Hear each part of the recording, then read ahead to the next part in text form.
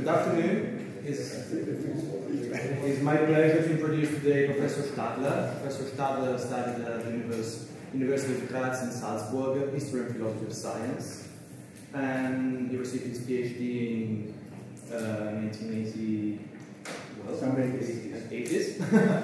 and whereas in 1991 he founded the prestigious Institute Wiener Kreis, the Institute Vienna Circle here in Vienna that today is, part, is one department of the Faculty of Philosophy and Education here in Vienna. And uh, since 2008 he is a full professor of History and Philosophy of Science at the University of Vienna after having uh, uh, taught in, uh, in the University of Minnesota and Humboldt University of Berlin as visiting professor. So please, without taking much time, uh, he's going to speak today of scientific realism within logical empiricism. So, Thank much. you very much. Welcome to all students and good friends. I'm pleased to be here. I remember some uh, nice events here, uh, also organized by the Institute Vienna Circle many years ago. And uh, I realized that it is a high competition currently, uh, my lecture and the opening of the World Championship in Russia. I'm suffering a little bit, but I will go on. So uh, here is my menu. Luckily, the title Scientific Realism Within Logical Empiricism may rely on uh, the talk of Martin Kusch uh, at the beginning of this uh, remarkable series. And uh, therefore, let me uh, switch immediately with reference to my main topic, scientific realism within logical empiricism, explaining what is logical empiricism, uh, as exemplified by Moritz Schlick and Rudolf Carnap, two major proponents with different uh, philosophical and scientific uh, outlook. And uh, I will uh, then compare the Vienna Circle and uh, its reception and influence of Kant and Mach, two contrary figures in the history of philosophy of science because it seems that Kant is the most important figure for those who are philosophizing also today, whether they are pro or contra this, uh, his uh, um, doctrines. And uh, on the other side, it is the philosopher scientist Ernst Mach, who taught at the University of Vienna, a trained physicist who switched to a philosophical chair in 1895. And uh, uh, Ernst Mach exerted an enormous influence uh, on philosophers and philosophers of science. The conclusion is indicated uh, the discussion, the debate since the heydays of the Vienna Circle uh, hasn't ended. And in addition, it's uh, a sort of relief uh, also for you.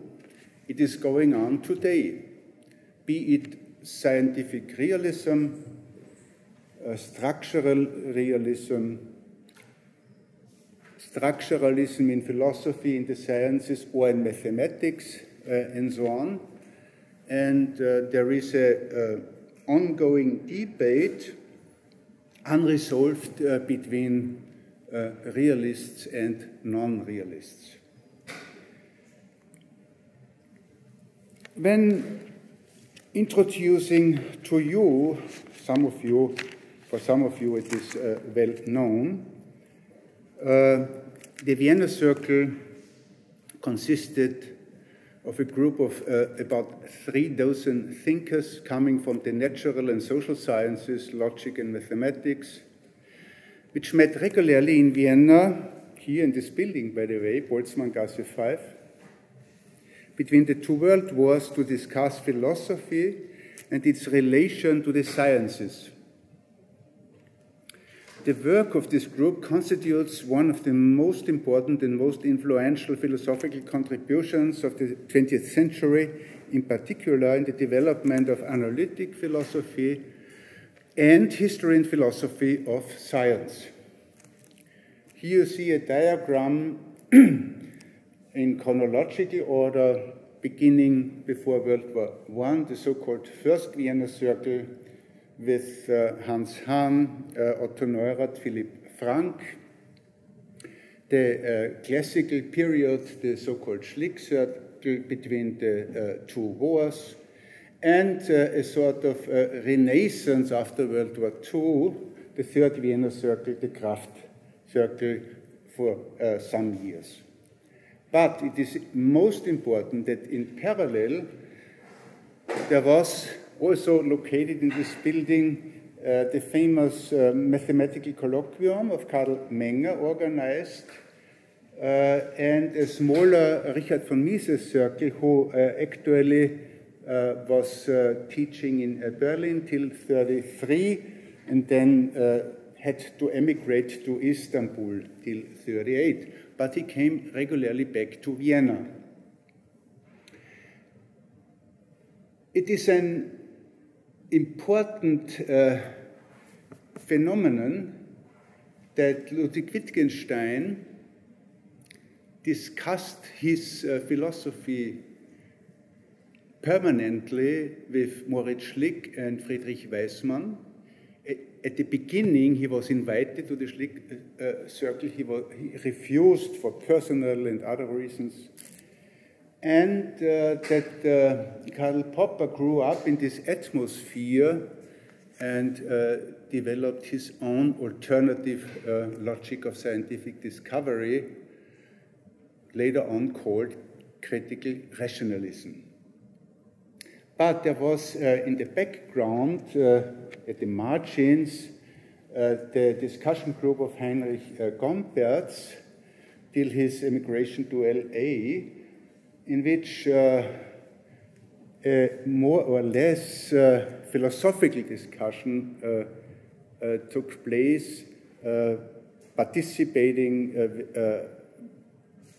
Kurt Gödel, Edgar Zilsel, Felix Kaufmann, and others. Uh, it is most important uh, to mention that uh, these phenomena were academic and non academic, and uh, can be explained uh, reasonably only before the background of uh, Viennese cultural movements. And you see there the most important Ernst Mach Society and other currents of late enlightened philosophizing and social reform between socialism and liberalism. And there was a strong uh, interaction and communication between all these discussion groups at the universities and uh, outside in the coffee houses.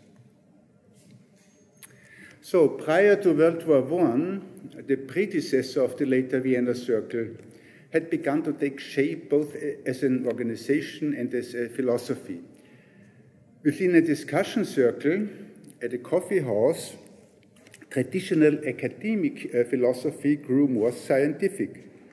The so called First Vienna Circle met regularly as of 1907 to discuss the synthesis of empiricism and symbolic logic as modeled after Mach, Boltzmann, and the French conventionalists like Pierre Duhem and Henri Poincaré. This was also seen as an indirect answer to Lenin's polemical remarks against Ernst Mach in his book Materialism and Imperial Empiriocriticism, which remained very influential in Eastern Europe up to the Velvet uh, Revolution in 1989 uh, uh, and 90. This early phase in the development of logical empiricism can also be interpreted as an anti Cartesian turn in epistemology and philosophy of science which undermined both the synthetic a priori and the secure foundations of knowledge, the so called basis problem. In the middle of the permanent crisis of philosophy between reform and revolution in society and science, the further development of this scientific philosophy had in any case been initiated. The Vienna Circle was first publicly announced in 1929 with the publication of what came to be called its Manifesto, Wissenschaftliche Weltauffassung der Wiener Kreis, The Scientific Conception of the World, der Vienna Circle, edited by the Verein Ernst Mach and authored by Rudolf Carnap, Hans Hahn, and Otto Neurath. This group was essentially a modernist movement at the center of which uh, was uh, the so called Schlick Circle, a discussion group organized since 1924 by Moritz Schlick. You see uh, again the members of this group and all names uh, uh, written in italics uh, were forced to emigrate. Late, late, latest, and some of them earlier. Yeah. Here is the periphery with a lot of famous guests uh, and uh, also uh, a younger generation participated, men and uh, women. And the related uh, Berlin group uh, around Hans Reichenbach, the most important proponent of this movement. And the wissenschaftliche Weltauffassung, it's uh, difficult to translate it uh, accordingly.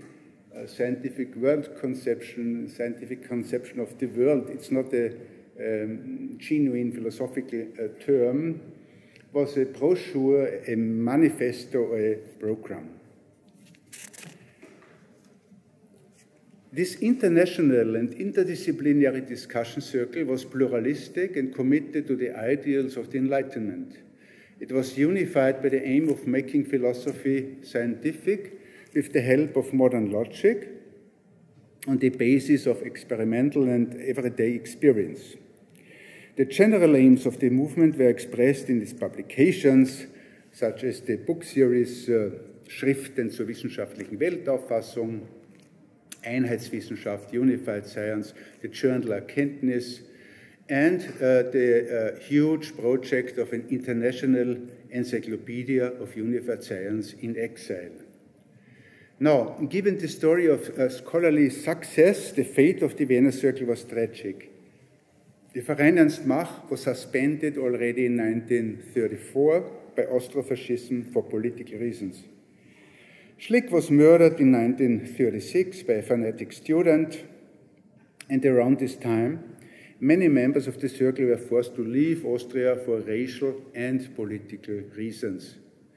Thus, soon after Schlick's death, the circle disintegrated. As a result of the emigration of so many of its members and adherents, however, the circle's ideas became more and more widely known, especially in Northern Europe, Britain, and North America, where they contributed hugely to the emergence of modern philosophy of science.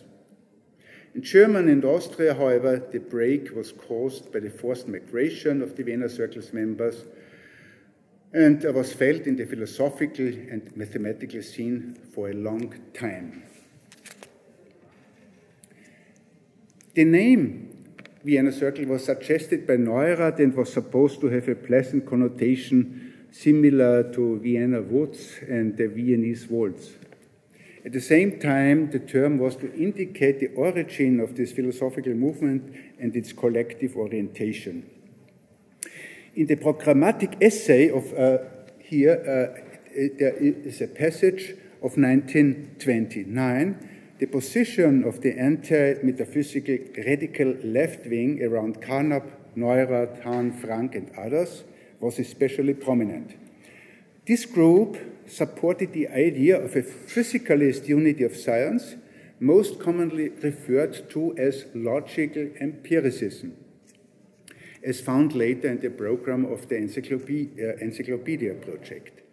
By contrast, the more moderate wing of the Vienna Circle around Schlick, Waismann, and Feigl emphasized their adherence to a dualism of science and philosophy with different names like consistent empiricism or logical positivism. The widely used term logical positivism actually originated in Blumberg's and Feigl's essay 1931 with the title uh, was published in the Journal of Philosophy in the United States. Here, both authors gave a concise description of the new anti Kantian synthesis of logical and empirical factors, proclaiming the impossibility of a synthetic a priori.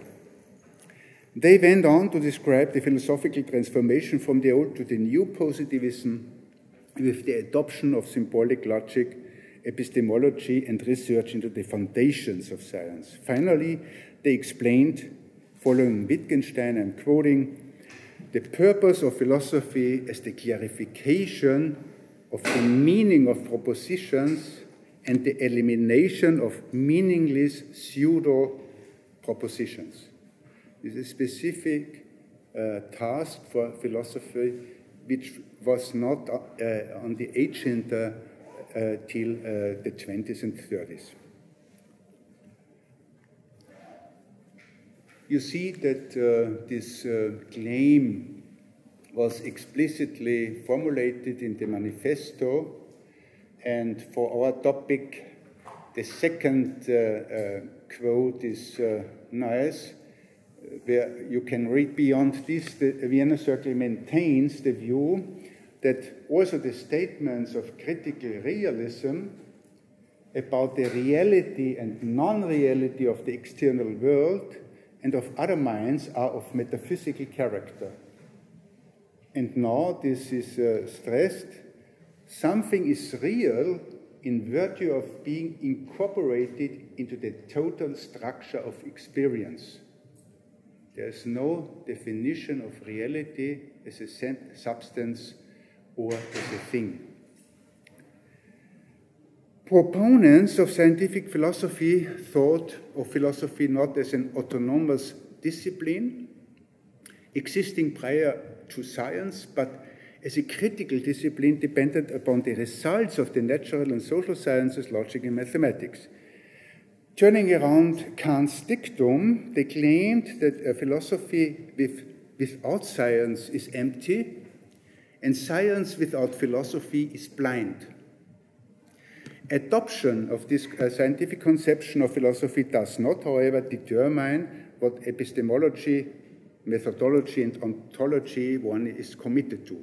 Nonetheless, all adherents of scientific philosophy demanded exact methods, a critical attitude, and a more or less empirical orientation. They opposed irrational and theological systems of philosophy, so called system philosophy, and viewed science in general in a positive way.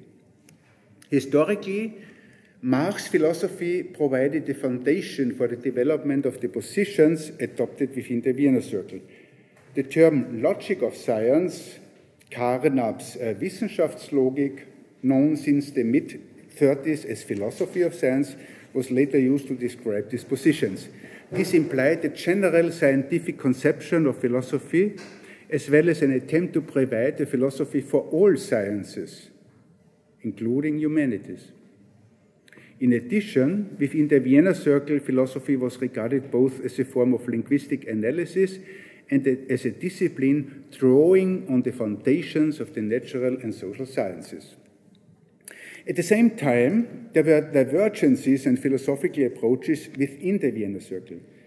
Those, such as Schlick, defended a dualism of philosophy and science, and those, such as Carnap and Neurath, sought to integrate philosophy altogether within the scientific conception of the world or encyclopedic unity of the sciences. In Schlick's view, the classical philosophical positions of empiricism and rationalism were integrated with the help of modern logic and mathematics, but the distinction between philosophy and science still remained.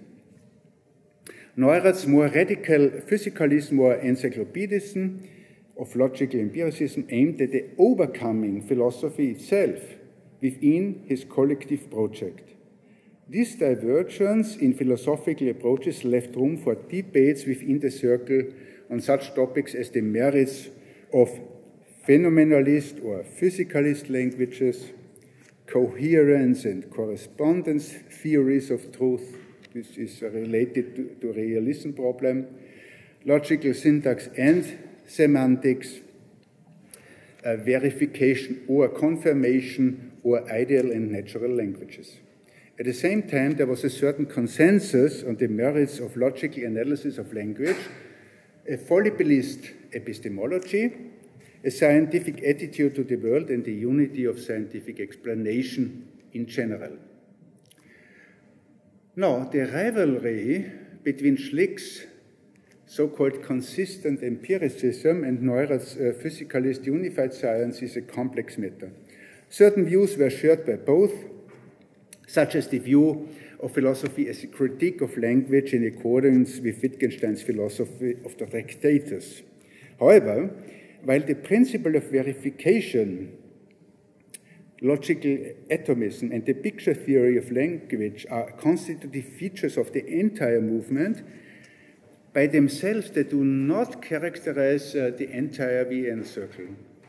Theoretical elements like logicism, the, the, the deduction of mathematics from logic, verifiability, methodological phenomenalism and physicalism, uh, and realism, together with an empiricist uh, encyclopedia project, were cornerstones of the internal pluralist development. This development also reflected the influence of Neurath's historico-pragmatic point of view within the circle.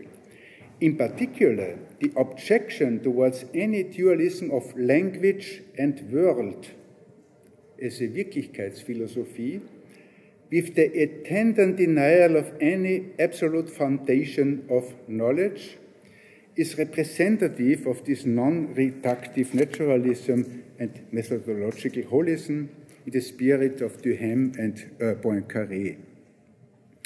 This form of relativism already uh, anticipated the historical turn after World War II in the philosophy of science with Kuhn, 1962, and which contributed to overcoming the linguistic turn in the so called received view of philosophy of science in the 50s and 60s.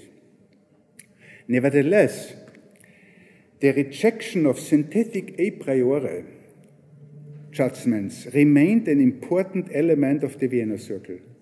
According to Russell and Whitehead uh, in the Principia Mathematica, symbolic logic and mathematics were regarded as purely analytic and a priori. Analytic truths of this kind were contrasted with contingent statements of the natural sciences and ordinary everyday experience as synthetic a posteriori judgments. But there was no further class of uh, synthetic a priori judgments. Instead, there was thought to be an important class of meaningless sentences without any cognitive content. The elements of this class were seen as metaphysical in the sense that they are not part of knowledge at all, even though they may express some realm of common sense experience. This position of the classical Vienna circle is most prominently represented by Carnap's uh, article Elimination of Metaphysics through Logical an Analysis of Language, which developed uh, a program for a unified rational reconstruction of science. But the question as to whether an empirical basis could serve as the foundation for all knowledge received strongly divergent answers from coherence theorists about truth, influence, influenced by Neurath, and correspondence uh, theorists influenced by Schlick. Also, the apparently strict distinction between analytic and synthetic sentences was questioned. The ideal of one language of science, logic and mathematics, was radically weakened already uh, within the Vienna Circle itself with Karl Menger's and Rudolf Carnap's principle of tolerance long before Quine put forward in his uh, critique of the two dogmas of empiricism. Uh, this principle of to tolerance is uh, important insofar as it is a rule to choose between different languages, maybe phenomenalist or physicalist language, or logics which are uh, problem solving, better problem solving within one theoretical frame. Thus, contrary to uh, popular belief, a heterogeneous pluralism of views was in fact characteristic of the Vienna Circle. For example, regarding ethics, the alternatives of realism versus positivism, verification versus falsification, and last not least, in matters of ideological and political uh, preference. Uh, between conservative liberalism and leftist uh, socialism. In the later period of the Vienna Circle, the contested verification principle was gradually abandoned and replaced by some form of a probabilistic confirmation method based on the principle of connectibility, connectibility of uh, empirical propositions. The unity of science movement, and now you see a transfer and transformation of logical empiricism from Europe uh, to North America, first to England and then to North America. It's an enormous uh, change, sea change was it called, and in parallel, uh, transformation of the cognitive design of this uh, group. The Unity of Science movement, with six international congresses and the ambitious publication project of the encyclopedia, had a broader cultural meaning and goal. Most notably, the attempt to improve the human condition and to promote social reform and the intellectual struggle against irrationalism and totalitarian Weltanschauungen. It was a manifestation of a late enlightenment conception of science with a socially inspired anti-metaphysics. Between the two world wars, metaphysics was seen as a correlative feature of German idealism as well as of Austrofascism, as represented, for instance, by the economist Ottmar Spann. The practical impulse behind the therapeutic destruction of uh, metaphysical systems, then, was the desire for a scientific attitude based on human experience, directed against the zeitgeist of totalitarianism and cultural pessimism. Therefore, traditional philosophy, first of all, had to be reduced to a critical analysis of language, because most proponents of logical empiricism thought that an exact and sober usage of the scientific language is a precondition for all problem oriented philosophizing, and moreover, a sort of moral obligation. Social criticism and collective work in philosophy of science formed a programmatic unity, striving for a sweeping improvement of the human condition. Whereas in the natural sciences, considerable progress had already been uh, made, the situation in the social and cultural sciences was not so transparent and influenced by, ongoing, by the ongoing Methodenstreits since the turn of the century. Although some members of the Vienna Circle, like uh, Felix Kaufmann, Neurath, and Zilsel, contributed essentially to this neglected field, their publications have been largely ignored in the historiography of the Circle for a long time. In this respect, it's worth mentioning that after the disintegration of the Vienna Circle, its former members still occasionally made reference to the scientific conception of the world when speaking about general ideological questions. For example, Carnap spoke in his exile about scientific humanism as a view shared by the majority of logical empiricists. Now, after the dissolution of the Vienna Circle, the forced migration and most of its members, and the dispersion of the logical empiricist movement from its centers in Europe, the twin aims of a transformation of philosophy and the establishment of philosophy of science could only be envisaged once the ties to their previous cultural context and audience had been severed. But even in these uh, difficult times, the proponents of the exiled Vienna Circle organized these uh, well-attended uh, conferences, the international, six international congresses for the unity of science. Looking, here is the so-called retransfer, what was going on after World War II in North America and in Austria. Uh, and looking at the current uh, research on the Vienna Circle, we can quickly recognize the difficulty of providing a representative description of logical empiricism in its entirety. Even the autobiographical accounts uh, uh, of the members since the classical period show a remarkable variance. What these texts have in common is the refutation of metaphysics, as well as of philosophy as a discipline in its own right. As an alternative, one finds a tendency toward a unified science that later culminated in an empiricist encyclopedia project and that includes the principle of tolerance as applied to logic and language. Already here, the contours of epistemological options emerge. If one also takes into account that the manifesto represents only one variant of the Vienna Circle, then it becomes empty clear that there existed only a limited consensus.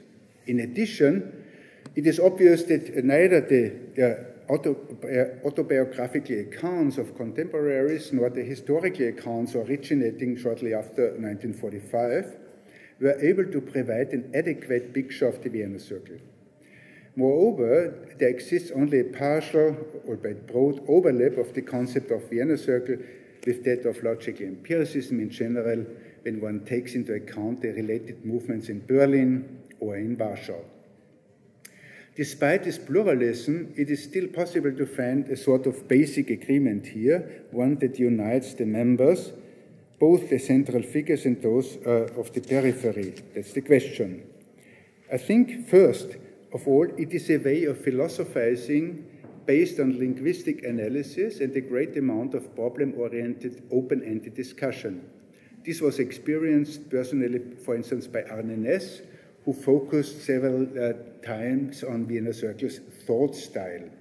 Secondly, the use of an unambiguous language together with exact methods is certainly a main legacy of the circle, and those associated with it, it is only when this exact formal approach is adopted that the content and positions can be constructively criticized and refuted.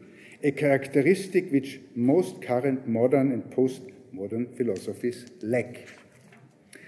The explicit and hidden history of the Vienna Circle, from Wissenschaftslogik to recent philosophy of science, document the wide range, pluralism, and diversity of its heritage and message. Be it called scientific philosophy or scientific humanism or a, a modern encyclopedism as a republic of scholars, it is a guide uh, to an intellectual journey which continues through the present day and probably on into the future. So, this was my uh, first uh, uh part introducing to you the Vienna Circle or, or logical empiricism as a whole, its uh, pluralism and uh, diversity, but also its common features regarding philosophy and the sciences as a, a departure now for the uh, specific philosophical uh, positions. Uh, if there are any urgent questions, please interrupt me before I go on with the second part, the comparison of uh, the Vienna Circle with Kant and his philosophy up to Neo Kantianism.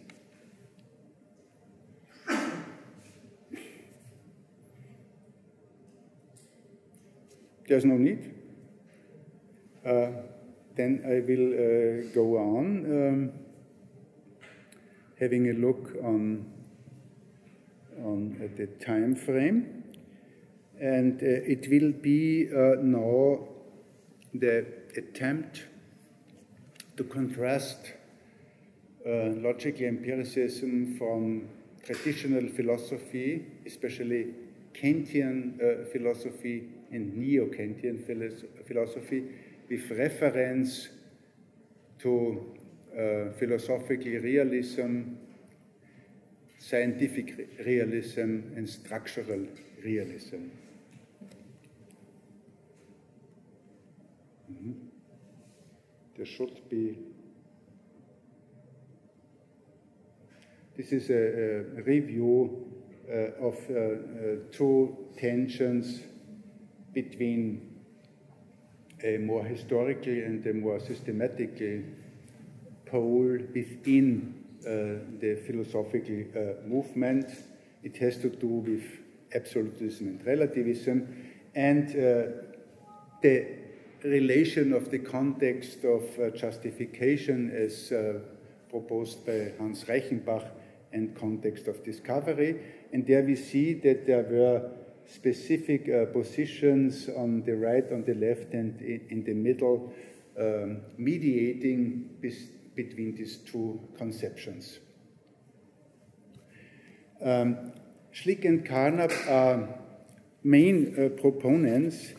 Uh, we will come back to them uh, regarding their attitude uh, towards traditional uh, philosophy, but as an incentive, let me introduce uh, the head of uh, the Vienna Circle, uh, who began his inaugural lecture here in this building with the claim that almost all philosophy is natural uh, philosophy, and he was the main interpreter of uh, Einstein's relativity theory, the philosophical in interpreter uh, praised by Einstein uh, himself and uh, was a student of Max uh, Planck and switched from physics to philosophy in the long run. And one can see his turn, gradual turn, uh, from his earlier philosophical position of realism or uh, critical realism in the context of uh, neo-Kantianism to a strong empiricist position uh, accompanied by language analysis, influenced mostly by Wittgenstein.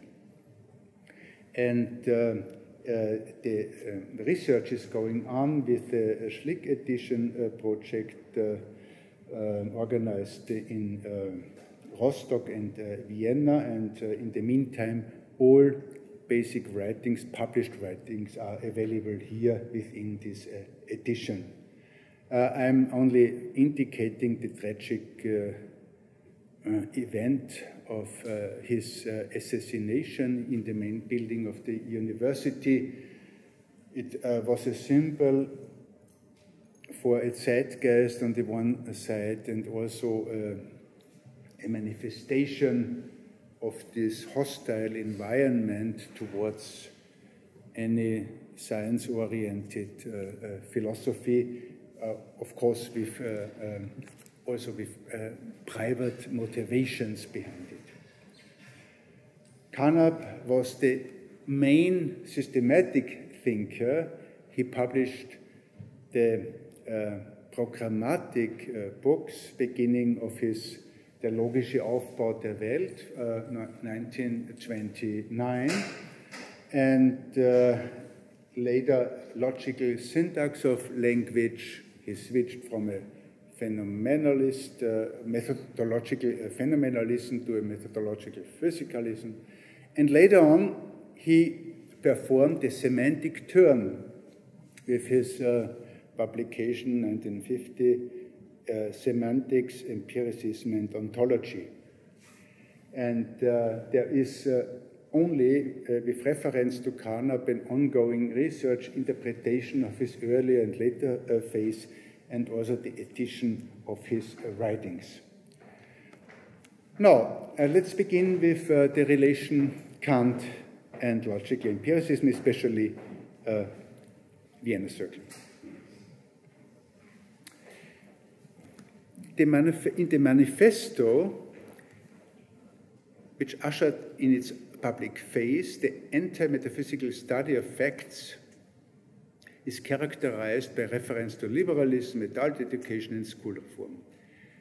Uh, with regard to Mach, uh, we uh, can read that, had, that he uh, was particularly he was uh, intent on cleansing empirical science of all metaphysical notions We recall his critique of his absolute space, which made him a forerunner of Einstein, his struggle against the metaphysics of the thing in itself and the concept of substance. On the leading founder of Austrian philosophy, Franz Brentano, you see this uh, quote,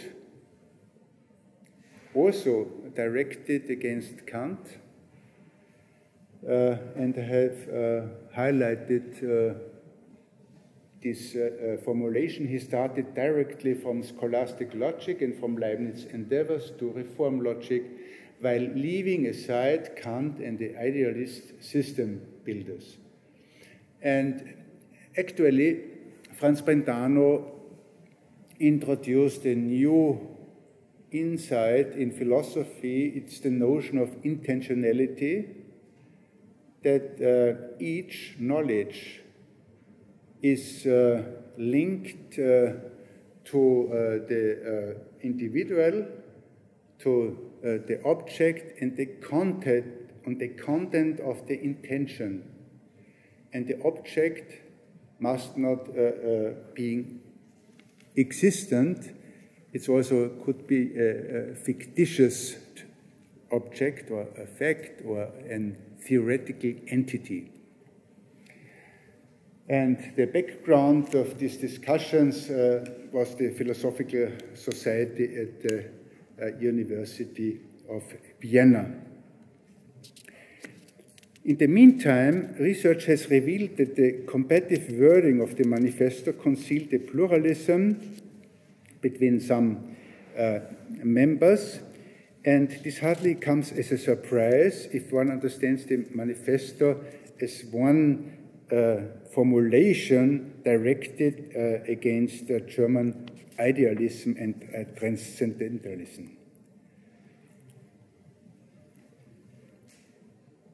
This uh, orientation or this uh, attitude was reformulated again and again it is directed against the hidden metaphysics of uh, Kantian modern a priorism in, in neo-Kantian sense, and it's aiming at the rejection of the possibility of synthetic knowledge a priori. And again, we have this uh, quote uh, I already uh, uh, showed you something is real by virtue of being incorporated into the total structure of experience. And intuition is not rejected as such by scientific world conception. However, it requires that all intuitive knowledge claims are followed by rational justification step by step. So um, Anschauung Kants Intuition or the Anschauung is uh, accepted and allowed, but it has to be tested, confirmed, verified or falsified in the long run. But if we have a look uh, on the publications of uh, Vienna Circle members, it's surprising and remarkable how many publications uh, we see there dealing with Kant and Kant's philosophy, including his followers. I'm not list, uh, it is listed here, I will not mention it, but you see that uh, most members um, read, criticized, and uh, dealt with Kant as a major cornerstone in the history of uh, philosophy. But given uh, the claim, the common uh, claim, the dualism of analytic synthetic, the rejection of a synthetic a priori, and the notion of a pure intuition, it was clear that uh, the, uh, it was a, a, sort of general uh, criticism. And this holds also for some members of the Vienna Circle, individually and in a, a, special form with different arguments. The mathematician Hans Hahn, well known here in uh, the Boltzmann-Gasse, studied Kant from the perspective of modern mathematics and logic.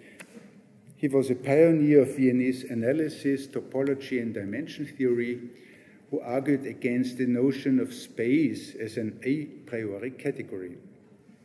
Hahn had published and commented the paradoxes of uh, the infinite by the Kant critic Bernard Bolzano, and distinguished in his popular science brochure Überflüssige Wesenheiten Occam's Rasiermesser, Superfluous Entities Occam's Razor, between systems of world affirming and world denying philosophy a la Kant. You can uh, read it here. We must not let ourselves be confused by Kant's world denying philosophy and uh, his uh, closing, for it's not true, as Kant argued, that intuition is a pure a priori means of knowledge, but rather that it is force and habit rooted in psychological inertia. So, this is a sort of psychologism and the separation of intuition from uh, pure innate categories and uh, his uh, disciple, more or less, or student, uh, Karl Menger Jr., who uh, was uh, decisive for the emerging uh, field of lodging and furthering Kurt Gödel's results, organized, as already said, this mathematical colloquium. And was a pioneer of this Viennese school of topology. And this was communicated to a broader public in the lecture series that he initiated, which was accompanied by, by the publications Crisis and Reconstruction in the Exact Sciences, five Vienna lectures. And here one also finds the text in New Logic, which describes some of Kurt Gödel's findings and also presented a critique of the intuitionism of his former teacher, Brouwer, in Luitzen Brouwer, the Dutch mathematician. His extraordinary book Moral, Wille, Weltgestaltung uh, presented an externalized ethics of decisions, and he proceeded to conclude with a, a reference uh, uh to Kant distancing himself from the famous categorical imperative. Carnap had systematically developed the logic of science uh, by conceptualizing syntax and semantics on the basis of the principle of tolerance with regard to the selection of scientific languages and logics. Following his studies with Bruno Bauch, Frege, Rickert, and Kohn in Jena and, and Freiburg, he published the first book Der Raum, ein Beitrag zur Wissenschaftslehre, which appeared in the Kant Studien as a supplementary edition. Further studies on the Kantian tradition can be found in subsequent articles such as on the task of physics and the application of the principle of maximal simplicity, in which he provided a defense of conventionalism and propagated various sketches of axiomatic systems as hypothetic deductive systems. Later on, um, as well as finally in his early main oeuvre Der logische Aufbau der Welt, together with Scheinprobleme der Philosophie, Pseudo-Problems in Philosophy, he differentiates and distances himself from German idealism, even if a positive reference to Robert Reininger seemed to have a mitigating effect. In the Schlick circle, Carnap uh, was also addressing uh, the, um, these uh, issues, and along with Reininger, he referred to Neurath and Carnap, and it's not surprising that Reininger lectured in the peripheral, peripheral uh, Heinrich Gomperz circle. Still, during the American phase, Carnap made reference in his introduction to philosophy of science to Kant's synthetic a priori as uncertain knowledge showing his preference to geometry in Einstein's sense. In this uh, context, I cannot delve further into uh, the subject. Recent research, in any case, reflects impressively the topicality of this uh, preoccupation which became manifest in logical empiricism as a relativized or functional a priori. So the idea of Kant's a synthetic a priori was modified as a, a, a priori, which was a, a, convention, a posit, but not an uh, absolute category. In addition, the prematurely deceased Albert Coffa had described the semantic turn, the semantic tradition from Kant to Carnap. So this is uh, the most uh, convinced uh, fighter for Austrian philosophy and uh, against uh, um, Kant. Otto Neurath followed the path from the physicalism to the empiricist encyclopedia which appeared uh, from 1938 on.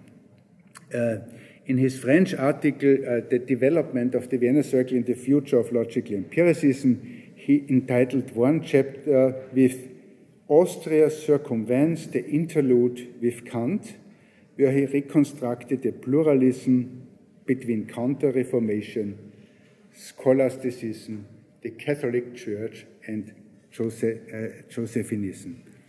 And he described uh, this Austrian trajectory as follows. I'm uh, quoting, it's not here.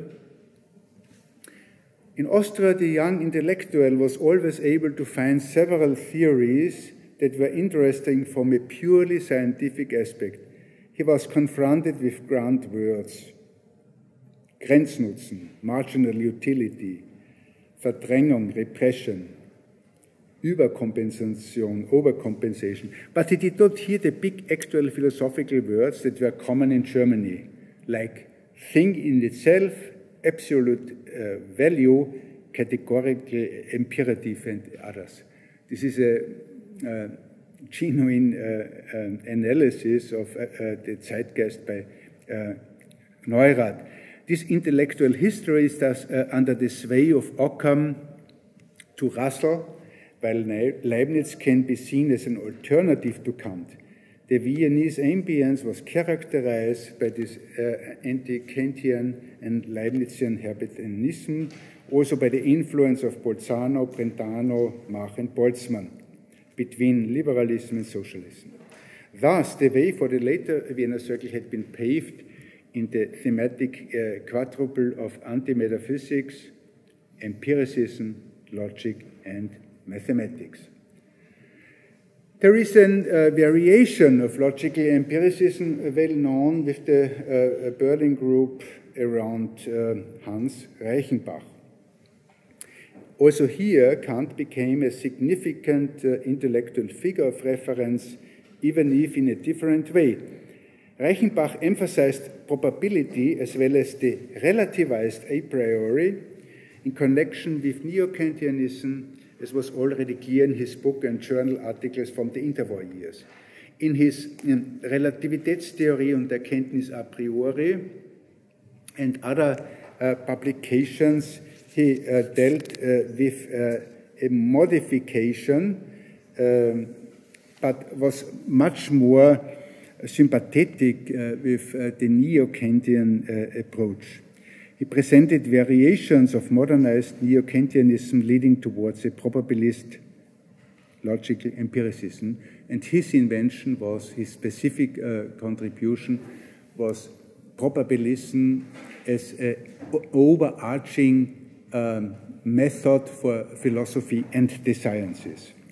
His colleague Kurt Grelling was a follower of the school of Fries before later distancing himself from it as he elaborated in his contribution in the Abhandlung zur Friesenschule. He proceeded to write a critical review of Paul Natorp, Heinrich Rickert, Bruno Bauch, and others. And Walter Dubislav also distanced himself from the Fries school while at the same time paying tribute to Bolzano.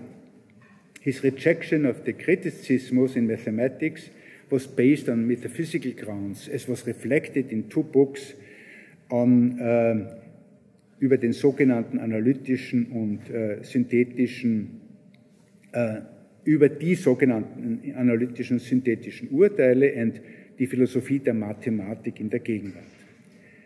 Now, this, uh, let me mention already here that uh, the Berlin based mathematician and pioneer of applied mathematics, Richard von Mises, sided with Mach in opposing Kant and his metaphysics. In his kleines Lehrbuch des uh, Positivismus, we read, the concept of analytical uh, judgments in Kant is founded upon the tacit assumption that the words of colloquial uh, language have been a definite fixed content of meaning, which does not depend upon more or less arbitrary convention. This contributed uh, to paving the way for German philosophy uh, uh, according to Mises. And uh, finally, it's clear also that Kant's ethics cannot be defended. With regard to systems of religion, Mises once again formulates his anti-metaphysical empiricist uh, position. So there's a, a, long tradition and discussion whether Karl Popper was a member of the Vienna Circle and part of logical empiricism. He himself refused to be seen as a product of this uh, Viennese uh, movement. And um, there are some crucial uh, differences on the one side, but also without uh, this communication, without this um, participation in all these uh, ongoing discussions, Popper's oeuvre wouldn't have emerged. At the periphery of the Vienna Circle, Popper wrote his uh, Logik der Forschung, Logic of Scientific Discovery, dealing with neo-Kantianism in the sense of Leonard Nelson and Julius Kraft, and in the context of Austrian uh, philosophy around Heinrich Gomperz. In the preface of Logik der Forschung, Popper appeals to Kant, which is indirectly targeted against Schlick. And with his text Immanuel Kant, the Enlightenment philosopher, he anticipated his positive assessment of Kant in the German edition of his second main work, The Open Society and Its Enemies, which is dedicated to the memory of Kant, the philosopher of liberty and humanity and the philosopher of enlightenment. Already, the first edition of the uh, Open Society opens with uh, a quote of Kant. I'm not sure if it is uh, here. Yes, there's uh, on, uh, on philosopher of uh, enlightenment.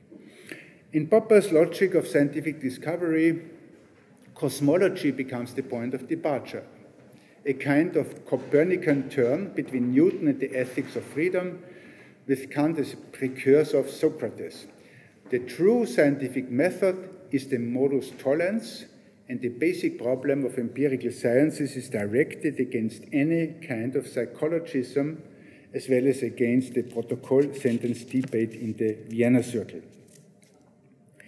It comes uh, as no surprise when Popper, between realism and rationalism, subsequently refers to Hermann Weyl, Max Born, Robert Reininger, and also Kant, which reflects his origins in the Karl Bühler school as an additional context.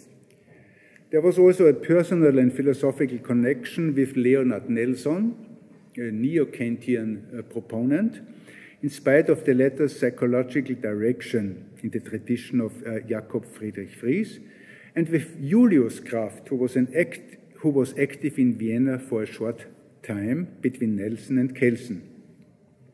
Traces of these connections can uh, be found in his publications at the same time, such as The Method of Legal Theory in the School of Kant and Fries, from Husserl to Heidegger, namely uh, Julius Kraft and um, the impossibility of humanities, in which he critically took issue with intuitionism and hermeneutics. As an epigone of the Nelson school, one could also cite Grete Hermann, whose text Politik und Ethik was criticized by Neurath in British exile as a typical expression of German climate. The philosopher of law and founder of the Austrian constitution, Hans Kelsen, worked to develop a synthesis between Kant, Husserl, Freud, and the Vienna Circle.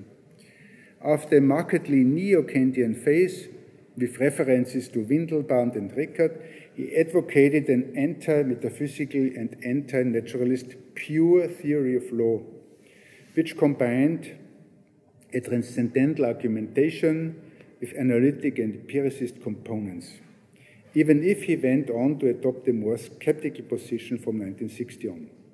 Similar to Zilsel, Kelsen made a significant contribution to the history and sociology of the notion of natural law, an extensive historical genetic analysis of Weltanschauung, as for example in his book Vergeltung und Kausalität, Causality and Retribution. For both him and Zilsel, the concept of objectivity was seen as a project of the notion of structure. The second uh, proponent of uh, uh, phenomenology and pure theory of law was uh, Felix Kaufmann within the Neo-Kantian context. He focused on the long-standing Methodenstreit in his Methodenlehre der Sozialwissenschaften and published several texts on philosophy of science in the Kant-Studien. In exile in the US, he reproach, his rapprochement with John Dewey ultimately failed, also because of uh, his reconciliation of Kant, whom Dewey had criticized as being responsible for German nationalism and militarism in World War I. So, uh, given this uh, uh, intellectual uh, journey, uh, we can add some hints that uh, also in the journal Erkenntnis we find reference to Neo-Kantian reasoning and thinking, for instance, to Friedrich Albert Lange, and um, it is clear that um, the problem of the a priori or the categorical imperative was uh, still on the agenda.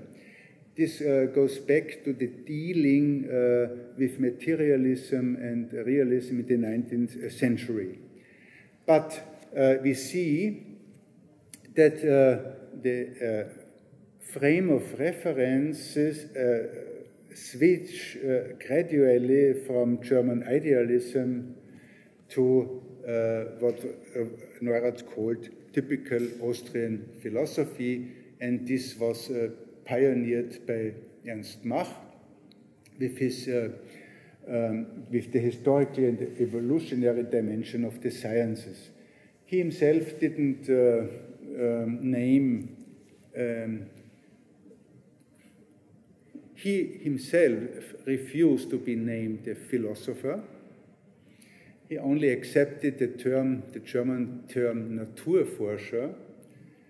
And uh, given the titles of his uh, main books and the subtitles, it is clear that he mediated between history and philosophy of the sciences with a lot of uh, impact and uh, influence uh, on the next generations. Here is a list of uh, lectures at the University of Vienna. And uh, it is uh, important to uh, emphasize that Mach was not an inductivist. He uh, tried uh, to explain that naive induction is um, uh, only one part of gaining knowledge of um, of uh, epistemology, and he uh, switched between uh, poetical fantasy and uh, the principle of economy. So uh, this uh, economy principle, the principle of economy, was Mach's most important methodological invention with an impact to the next generation. It is uh, uh, here re remarkable to refer to a crucial event in Mach's life, and I always uh, couldn't understand uh, that uh, a boy in the age of uh, 15 was reading Kant's Prolegomena to any future metaphysics. But for him, it was a, a, sort of crucial experience uh, when uh, coming to the conclusion that some two or three years later, the superfluity of the role played by the thing in itself abruptly dawned upon me, and the 15 year old youth eagerly gobbled down this clear and relatively uncomplicated work. I, can, I wouldn't agree. It made a powerful impression on him, destroyed the young man's naive realism, stimulated an interest in epistemology, and with the help of Kant, the metaphysician, annihilated all tendency toward metaphysics within himself. In equal uh, fashion, the book stimulated my thinking about scientific and psychological matters.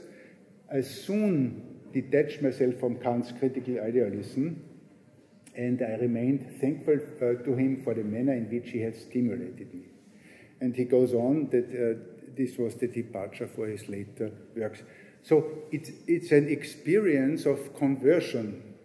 It seems uh, like a, a, crucial experience in childhood, which uh, was present till the end uh, of his life. And we will see that uh, some of the uh, circle members referred to this like mm, Moritz Schlick. Now we are coming to Schlick's elaboration in his writings, uh, his most important uh, Raum und Zeit in der gegenwärtigen Physik. Uh, it was uh, recommended by uh, Einstein, and uh, he is also in this publication, he is mentioning the philosophical significance of relativity theory consists negatively in its critique of a priorist philosophy, Kant, and other epistemological views. Then he dealt with uh, critical and empiricist uh, interpretation of physics, and his main work was Allgemeine Erkenntnislehre, General Theory of Knowledge, where he claimed that the positioning of the real, temporal determination, and the knowledge of the real rejection of the metaphysical distinction between essence and appearance. Only quantitative knowledge is uh, possible versus Kant's synthetic knowledge a priori. And uh, the validity of uh, deduction is independent of the nature of world. The method is hypothetical deductive based on an uncertain uniformity of uh, the universe. Uh, it's most important that he uh, differentiated between Erleben, Erkennen and Metaphysik.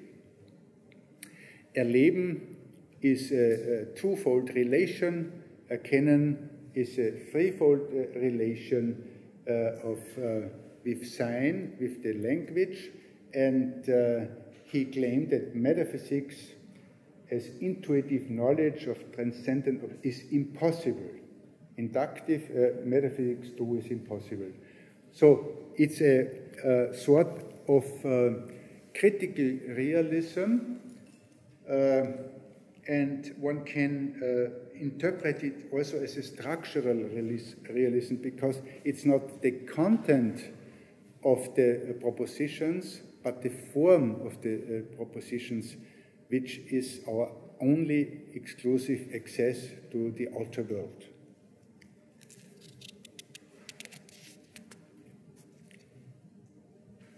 And Schlick, in his later years, uh, stuck to this uh, position, but, as already said, under the influence of uh, Wittgenstein, he uh, accepted uh, the linguistic turn that only language is the medium, the tool for any knowledge. And uh, he um, claimed a, con, uh, a, cons, uh, a, consistent and entirely pure empiricism.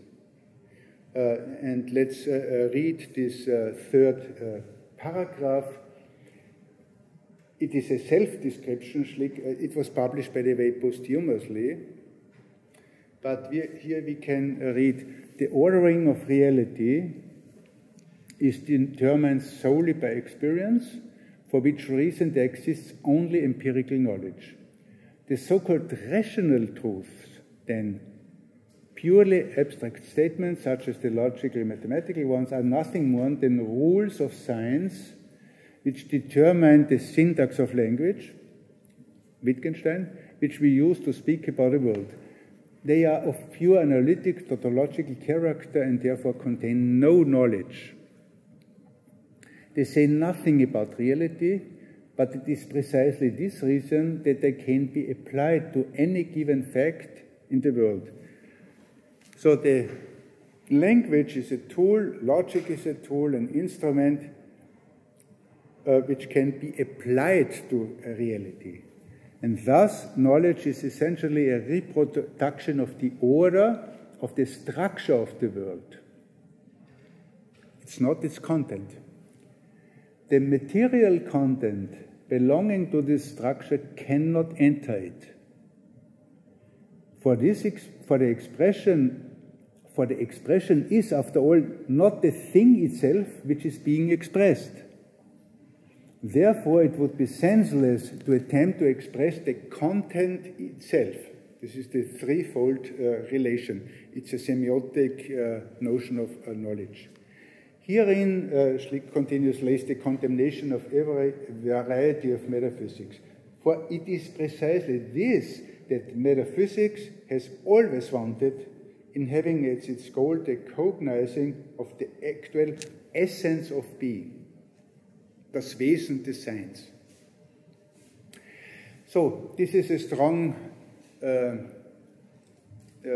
formulation and uh, claim, and uh, of course, it was discussed within the Vienna Circle and also outside with reference to uh, structural re realism and uh, with re reference to the neo Kantians.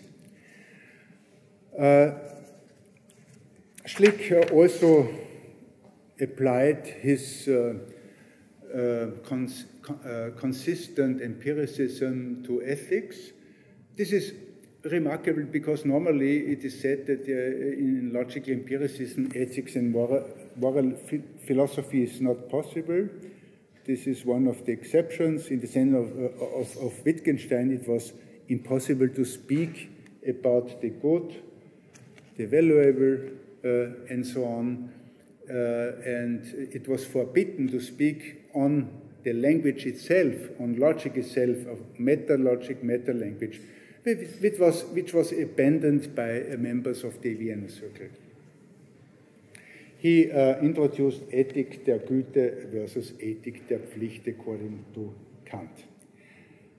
Uh, and uh, already in his interpretation of relativity theory, we see that uh, this uh, quote, uh, it was one of the most quoted writings of Einstein's in the 20s, uh, Geometrie und Erfahrung, Geometry and Experience, uh, which uh, served as a reference, as a manual, with the central formulation. As far as the propositions of mathematics refer to reality, they are not certain. And as far as they are certain, they do not refer to reality. And it is uh, this uh, short booklet, or it was a, a, lecture, a published lecture, which is contained in the manifesto of the Vienna Circle from uh, 29. And uh, it uh, was the case that uh, Einstein supported mainly uh, Schlick for getting a chair in, already in Rostock. You see here a letter to Max Born. And this trace was confirmed by Philipp Frank, who took part in this uh, movement in his uh, review, in his memories, Modern Science and its uh, Philosophy. Philipp Frank is a central figure. As a physicist, uh, successor of Einstein in Prague, Einstein biographer, and uh, he was uh, one of the most important uh, members uh, in Vienna and in Prague, and uh, later on he founded in Harvard after his immigration the Institute for the Unity of Science and uh, contributed to the science education program in Harvard. Now, uh, Philipp Frank uh, was the editor, together with Schlick, of the Schriften zur wissenschaftlichen Weltauffassung, and his, uh, in his autobiography, in this uh, book, he described the struggle with Nietzsche and Mach against Kant's school philosophy, so-called school philosophy, as well as bridging the gap between modern empiricism and symbolic logic. Hilbert's axiomatics of geometry as a conventionalist system of implicit definitions and operational definitions served as a formal tool. By recourse to Einstein and Russell, he worked to bring on an anti-idealist turn without ultimate justification, Letztbegründung. This was also uh, one aim common to all members. There is no Letztbegründung, ultimate justification of knowledge. And he's uh, uh, now writing according to Mach, the general principles of science are abbreviated economical descriptions of observed facts. According to Poincaré, they are free creations of the human mind which do not tell anything about the observed facts. The attempt to integrate the two concepts into a coherent system was the origin of what was later called logical empiricism. This is an, a nice uh, description of the uh, situation uh, at the beginning of uh, this uh, movement and uh, we see there already the tension between realism and empiricism, because Poincaré later on claimed a sort of realism despite his conventionalist approach.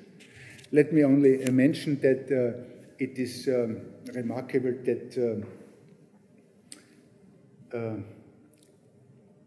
Philipp Frank analyzed Lenin's book, Lenin's attack uh, uh, against uh, Mach, and he himself was mentioned in Lenin's book as an idealist neo-Kantian.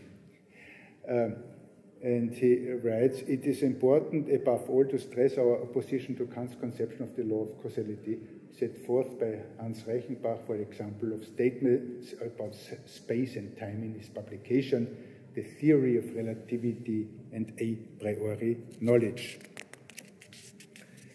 Uh, one outsider, he was not a professional philosopher, was uh, certainly um, Edgar Zilsel. He was later on an innovator regarding the history origins of modern science, and he already in his uh, uh Viennese years claimed and praised uh, Kant uh, from the educational uh, point of view, and he also lectures on it. So he uh, was confident about a, a broader conception of philosophy, including the traditional forms. And here now, uh, uh, one member is uh, an important member, the only one who, who, could stay in Vienna and survive was Viktor Kraft. Um, who uh, switched between critical realism and constructive empiricism. He targeted Mach and Avenarius, uh, of course, and he studied in at the University of Vienna uh, with a dissertation Die Erkenntnis der Außenwelt, the knowledge of the external world. After studies in uh, Berlin, he wrote his habilitation Weltbegriff uh, und Erkenntnisbegriff, the concept of world and the concept of knowledge, in the spirit of critical realism. But already in Vienna, in the Vienna Circle, his book uh, Die Grundformen der wissenschaftlichen Methoden, the, the basic forms of scientific methods, appeared. Here he presented an uh, hypothetic deductive methodology together with a constructive empiricism, which, by the way, anticipated a lot of Karl Popper's philosophy. In the circle which he himself initiated uh, already in, in, a discussion group in, uh, around 1900, Mach's philosophy was substituted to a Kantian critique.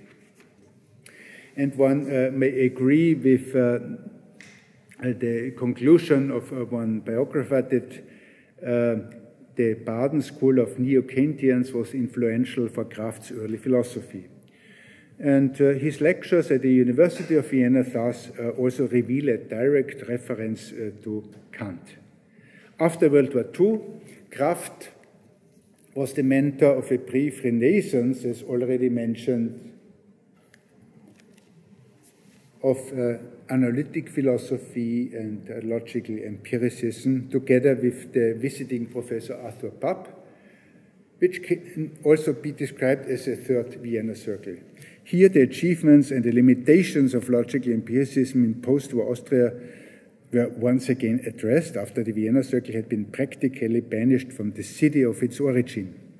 The PUB papers at the Institute Vienna Circle document the continuous study of empiricism and intuitionism, the relativized a priori, the model theoretical and logical approach in the context of analytic philosophy, and epistemology for several years.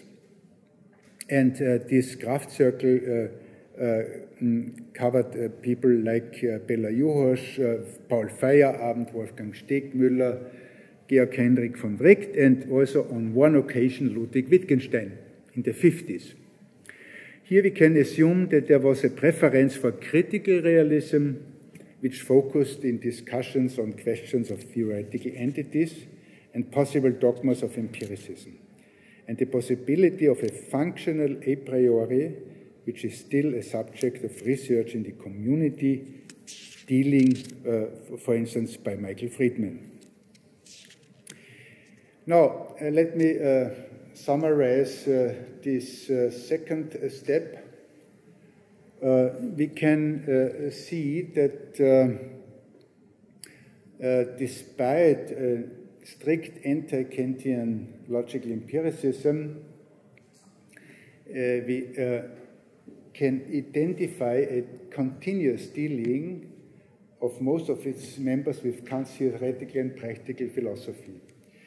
Uh, the so-called Philosophical Society at the University of Vienna was a, a background uh, or institutional context for all this discussion. And um, so far we are missing an overview of all these impacts and criticisms. It is a first reconstruction of the critical dealing with Kant and the Neo-Kantians, and uh, uh, it needs it is in need uh, uh for a comparison of uh, the uh, Vienna Circle around Schlick and the Berlin Group with a sort of family uh, resemblance, but with different evaluations of uh, Kant. The circle around Kraft after World War II with Arthur Pap is a, a remarkable short-term renaissance covering early analytic philosophy in Austria, which was forgotten uh, afterwards uh, till the 1970s. This, uh, as a second uh, step, uh, if I am right, there is how many time is left now?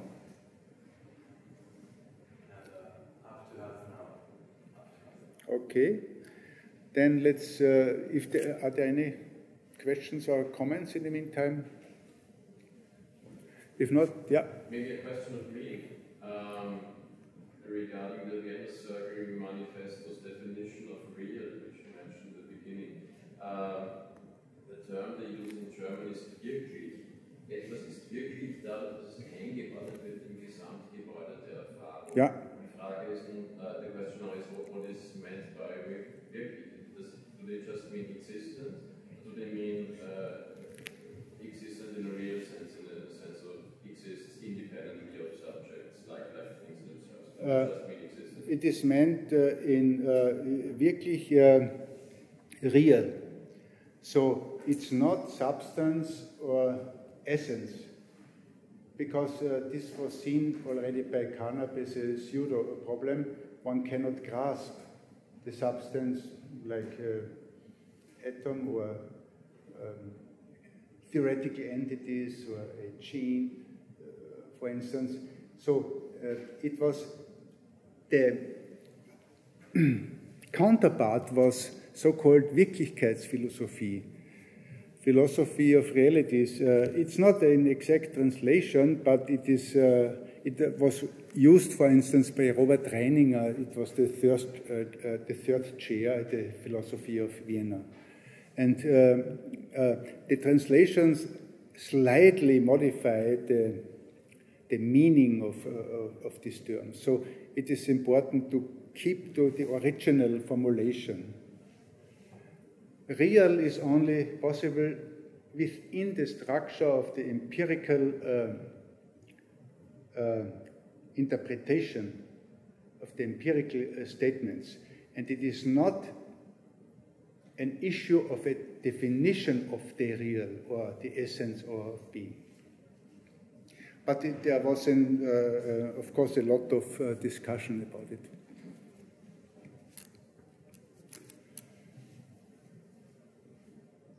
Yeah.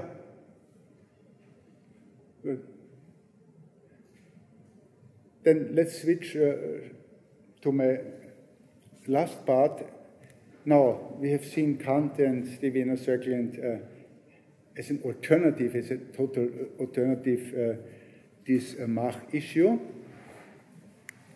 It is um,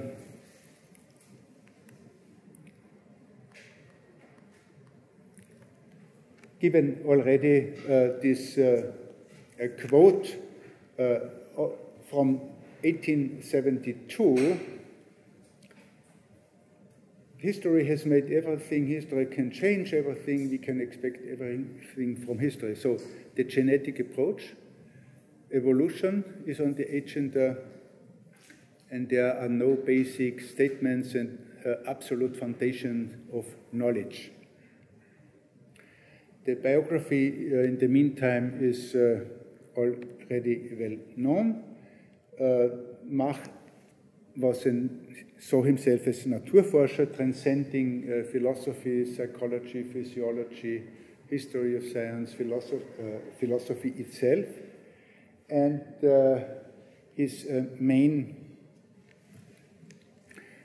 um, his main claim was, uh, uh, given this uh, conversion with Kant's, uh, the lecture, uh, uh, reading of Kant's Prolegomena, again, this is a, a repetition, therefore I am switching to the next slides, was to overcome school philosophy, Wirklichkeitsphilosophie, academic philosophy as such.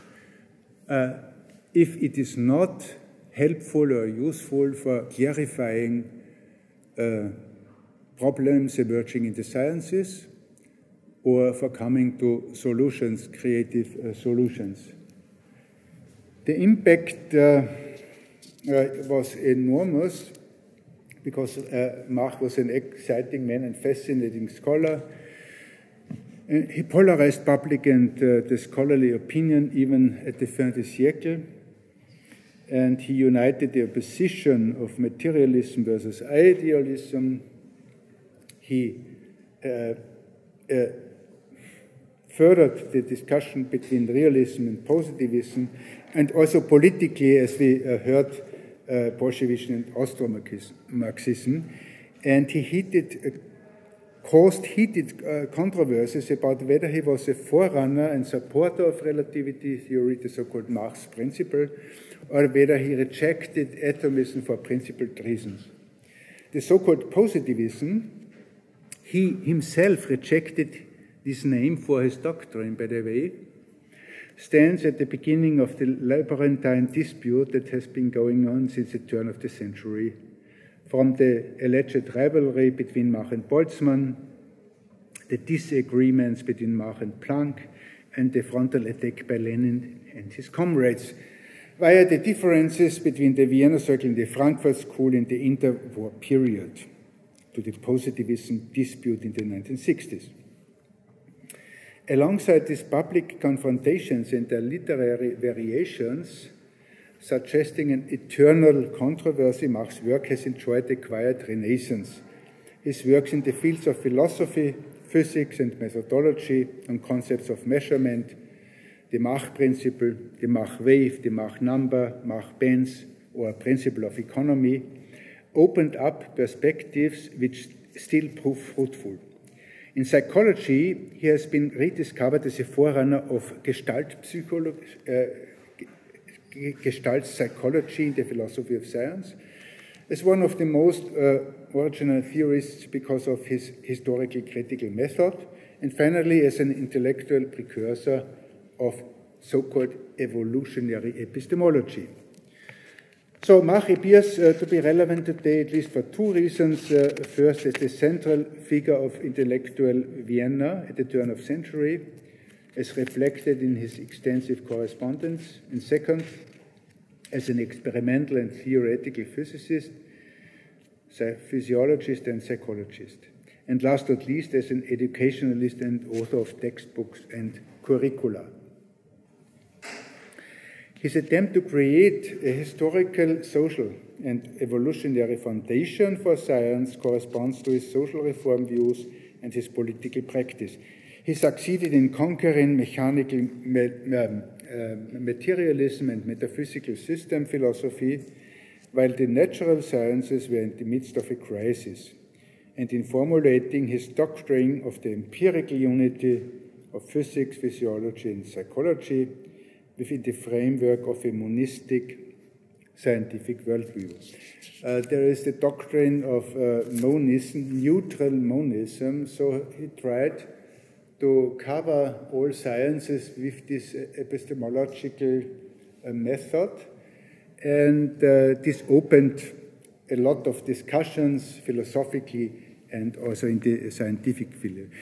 He began his uh, teaching career with the uh, for instance, with the claim that the problem of science can be split into three parts. First, the determination of the connection of presentations. This is psychology. Second, the discovery of laws of the connection of sensations, perception. This is physics. And third, the clear establishment of the laws of the connection of sensations and presentations. This is psychophysics. Elsewhere, Mach programmatically describe the task of scientific cognition as the adaptation of thoughts to facts to, and to each other. The main epistemological and methodological problems initiated by the second uh, scientific revolution were to be solved by means of unconventional uh, ideas. Theory of elements, principle of economy, and the historical critical method were central and at the same time controversial components of his conception of science. Just how much resistance Mach's innovation encountered in the scientific community is shown not only by the dispute between uh, Boltzmann and his uh, followers and him, and between the, uh, or by his controversial correspondence with the scientific avant-garde of the time but also by his own pessimism concerning the impact of his work, which uh, contrasts uh, his um, effective uh, influence and impact. And if you see here uh, these uh, fields of research, disciplines, and people who referred uh, to Mach, it's an astonishing cosmos. Again, in contrary to the reception or criticism of uh, Kant, you see that uh, Philipp Frank uh, immediately realized uh, Mach's significance for the formation of logical empiricism. When he says in his uh, essay, in his introduction, Modern Science and uh, its Philosophy, with Nietzsche and Mach versus Kant's so-called school philosophy, theoretical bridging, we were theoretically bridging the gap between modern empiricism and symbolic logic, helped by a French conventionalists Abel Rey, Henri Poincaré, and uh, Pierre Duhem. And uh, uh, this is again this um, quote of conventions and constructions and bridging the gap between logic, rationalism, and empiricism. He uh, later on uh, mentions uh, on Poincaré and the relation on Poincaré, Kant and Lenin, it is important above all to stress our opposition to Kant's conception of the law of causality, set forth by Reichenbach and, and so on. So Frank was uh, convinced that uh, uh, Mach contributed uh, a lot, uh, not only uh, for, for the sciences, and, but for the formation of the philosophy of science, and uh, one uh, central uh, passage is the second one we may read together, where he formulates the axiomatic system is a product of our free imagination. It's arbitrary. But if the concepts occurring in it are interpreted with some observational conceptions, our axiomatic system, if well chosen, becomes an economical description of observational facts. Now, the presentation of the law of causality as an arbitrary convention can be freed of its uh, paradoxical appearance. In this way, the philosophy of Marx could be integrated in the new positivism of men like Poincaré, Rey, and Duhem. And uh, this interpretation is uh, bridging uh, the gap with uh, a conventionalist uh, philosophy, avoiding in order to avoid any a priori conception and category and hypo uh, deductive methodology. In contrary, Neurath aimed at a unity of science which claimed a sort of methodological holism. There is uh, this famous uh, uh, uh, the boat metaphor. Uh, the first one uh, occurred in his Antispengler. Hm, wie Schiffer sind wir, die ihr Schiff auf offener See umbauen müssen, die See Tag zu erleben. It's, one can interpret it as a, a relativist uh, philosophy, but it was set by Neurath as a form of um, anti-rationalist conception, avoiding any form of pseudo rationality, which was directed against later Popper, for instance. And uh, Neurath uh, is an exception, but he, uh, in his youth, realized. He wrote to Mach, and in these two letters, one can see that he uh, identified Mach's methodology and applied it uh, in the social sciences.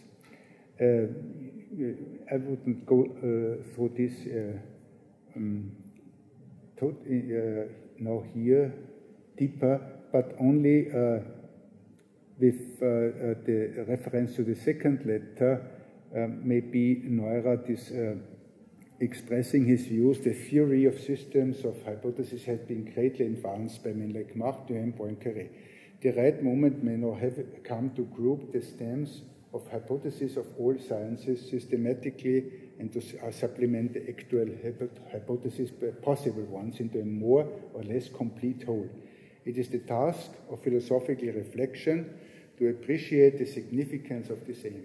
It is not the concern of the individual sciences, as we need theories, theories to classify things. We need theories to classify, to classify theories. So he is thinking about the relation of a theory and the world and observation, and uh, proposing that we have also to think about the systematization of uh, theories uh, itself. And in addition, uh, Carnap departed in his Aufbau program mainly from uh, Mach's uh, empiricism, but covered also Russell's Principia Mathematica and some parts of Neo-Kantianism. It's, it's, remarkable that uh, most uh, philosophers say that uh, the Aufbau program failed because it was not elaborated up to the cultural sphere. But nor, uh, Carnap, in his autobiography in the 60s, uh, uh, formulated, I should now consider for us as basic elements the of the Aufbau, not elementary experiences. It was a, a methodological solipsism, in spite of the reasons which, in view of, of Gestalt uh, psychology, speak for such a choice, but something similar to Mach's elements. It, uh, for instance, concrete sense data, as for uh, example, a red of a certain type at a certain visual field place at a given time. This is a physicalist uh, formulation. I would then choose as basic concept some of the relations between such elements. For example, X is earlier than Y. The relation of spatial proximity in the visual field and in other sensory fields. And the relation of quantitative similarity, for instance, color similarity. So the research on Carnap is going on on the Aufbau and also on his later publications, uh, Logical Syntax and uh, uh Semantics.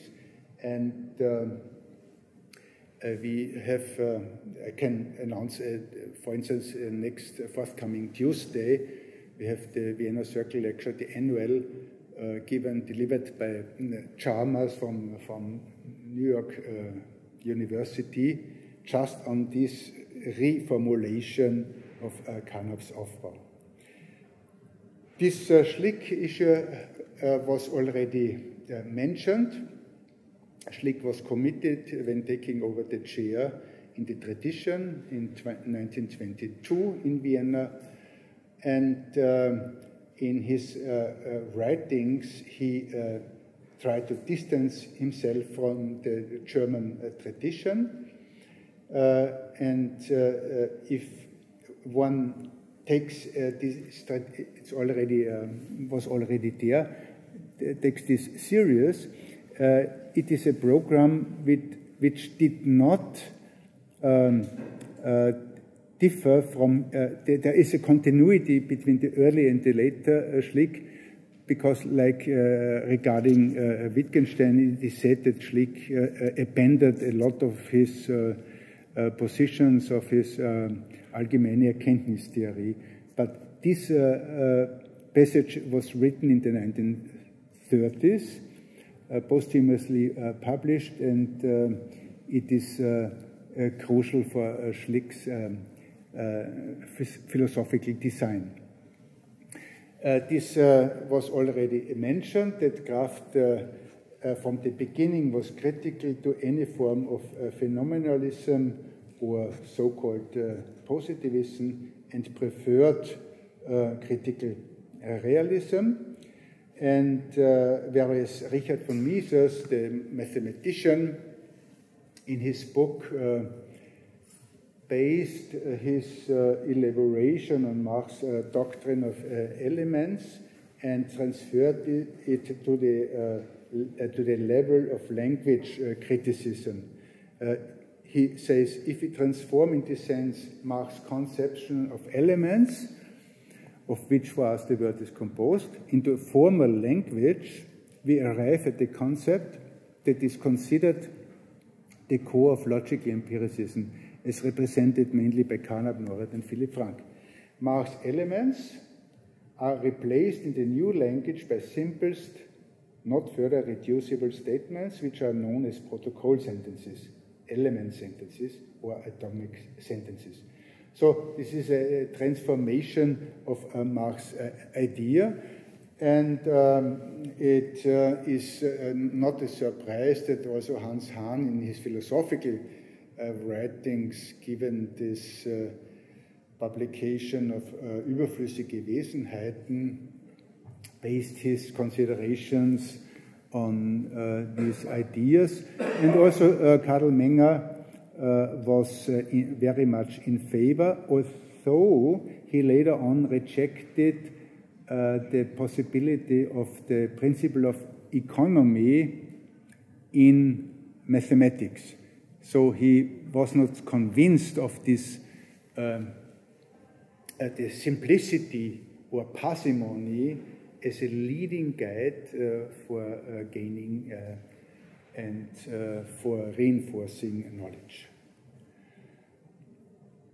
Edgar Zilsel attacked or criticized Lenin and his followers in um, the Soviet Union with well-known arguments. It, it's an external, it's a sociological analysis of uh, Leninism, Marxism, Leninism.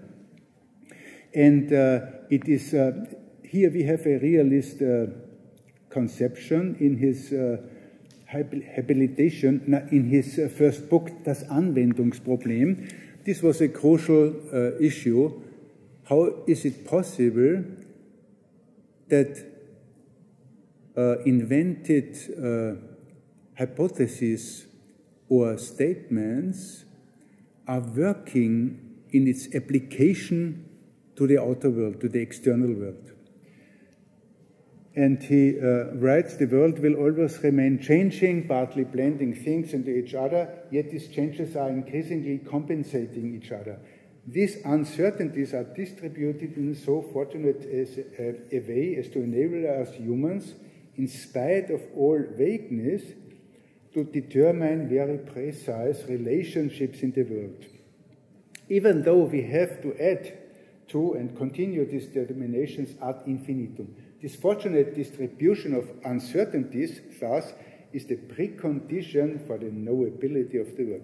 This is a manifestation of realism, of uh, critical realism, maybe of uh, structural realism.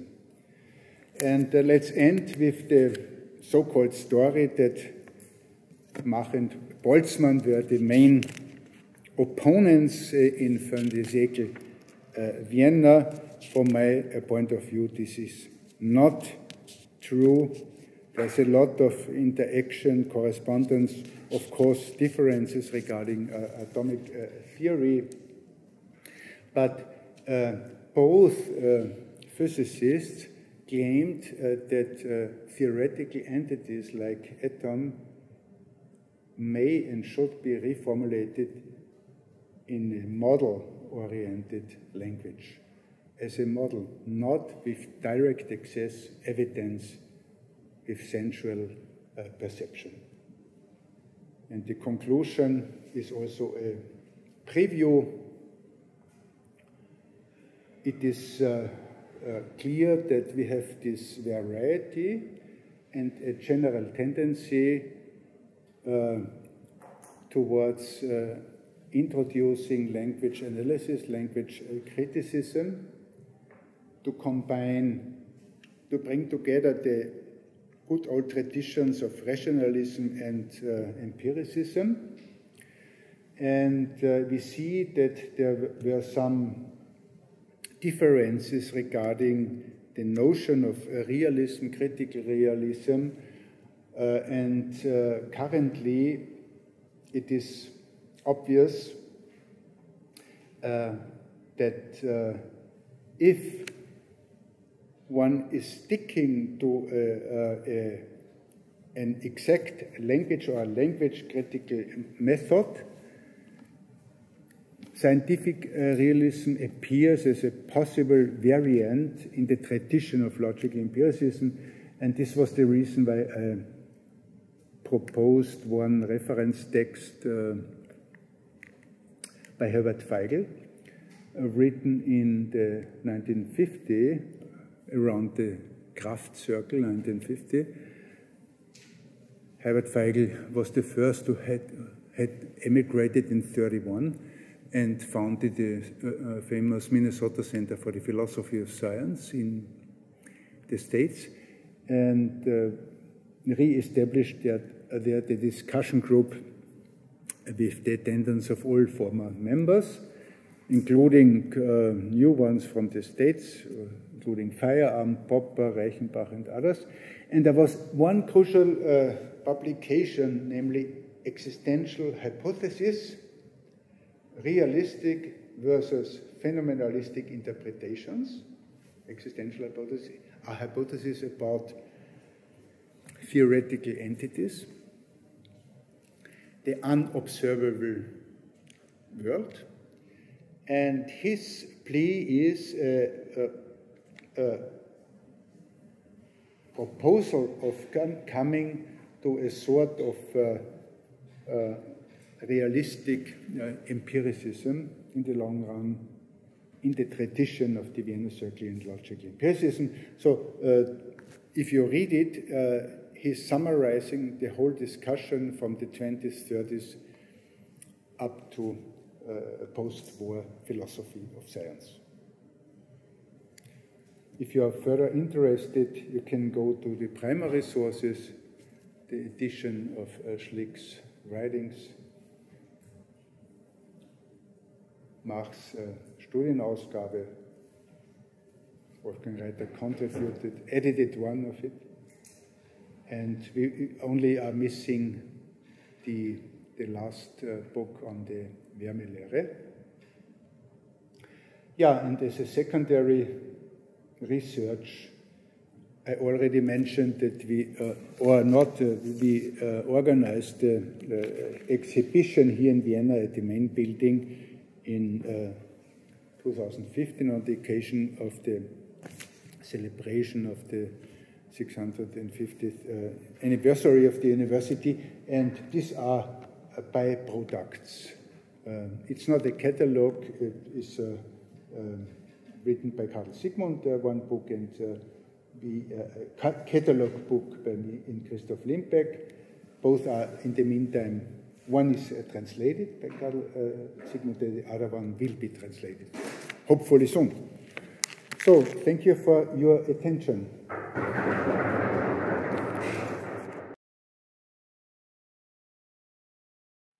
Okay. Please.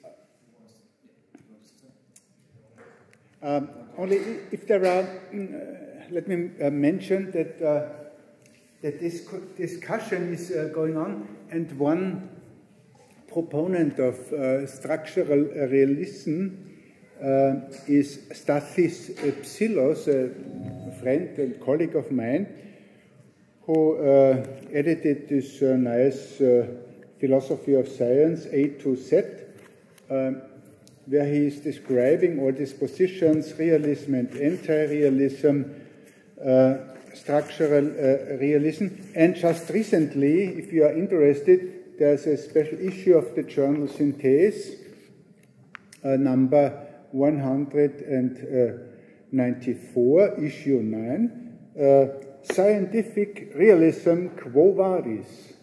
Question mark. Introduction, new thinking about scientific realism. So, what is this new thinking? You see the topics I, I referred to again here, uh, beginning with uh, Stathis uh, Psillos um, and uh, going on with um, the, uh, the problem understanding uh, uh, realist defense against anti-realists, replacing recipe realism, predictive success.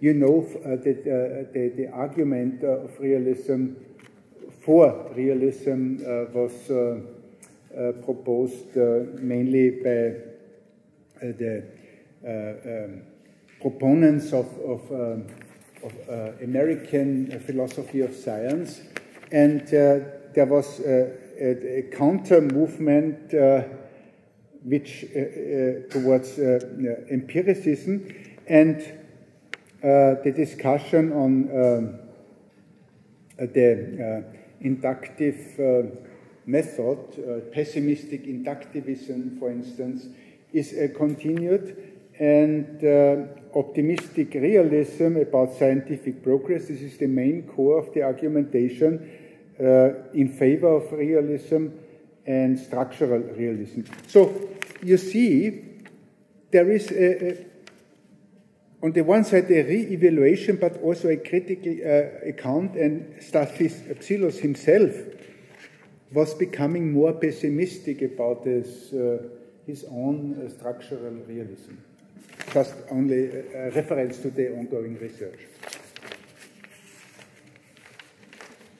So please. Is there questions?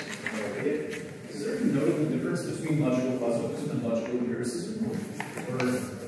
Yeah, this is a problem of uh, language policy. Uh, the notion of uh, logical uh, empiricism was preferred by the members of the Vienna Circle themselves. Why? I try to explain bringing together rationalism and empiricism. Positivism and logical positivism was rather an attribution from outside.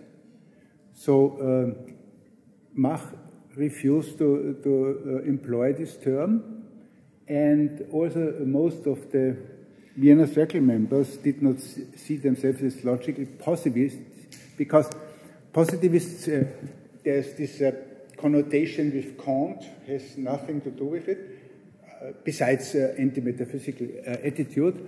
And another reason was that um, it's a, the equation of positivism and uh, phenomenalism.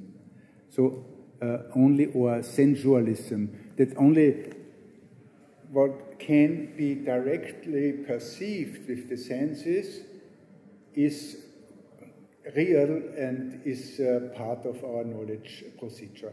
And uh, this was rejected by most of the members. And uh, uh the, uh, but the point is that we have in the 20th century at least four um, steps in the so-called Methodenstreit beginning with Lenin against Mach, continued by Horkheimer against Neurath, um, and um, after World War II, the Frankfurt School against the Popperians under the label positivism dispute. Has nothing to do with positivism. It's, it was a discussion uh, in the uh, field of sociology, the methodology of the social sciences mainly. So it's rather uh, the confusion, and one should be uh, highly critical with such labels. Yeah, I have another question of understanding regarding a quotation from Schlick. Uh, something about the ordering of realities determined by experience. Uh, yeah.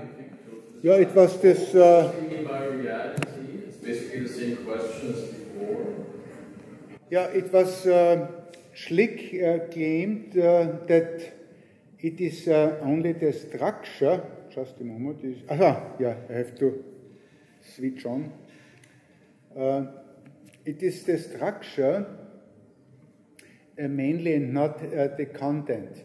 And what is conceivable is only the formulations, the in an empiricist, uh, this is the first uh, quote.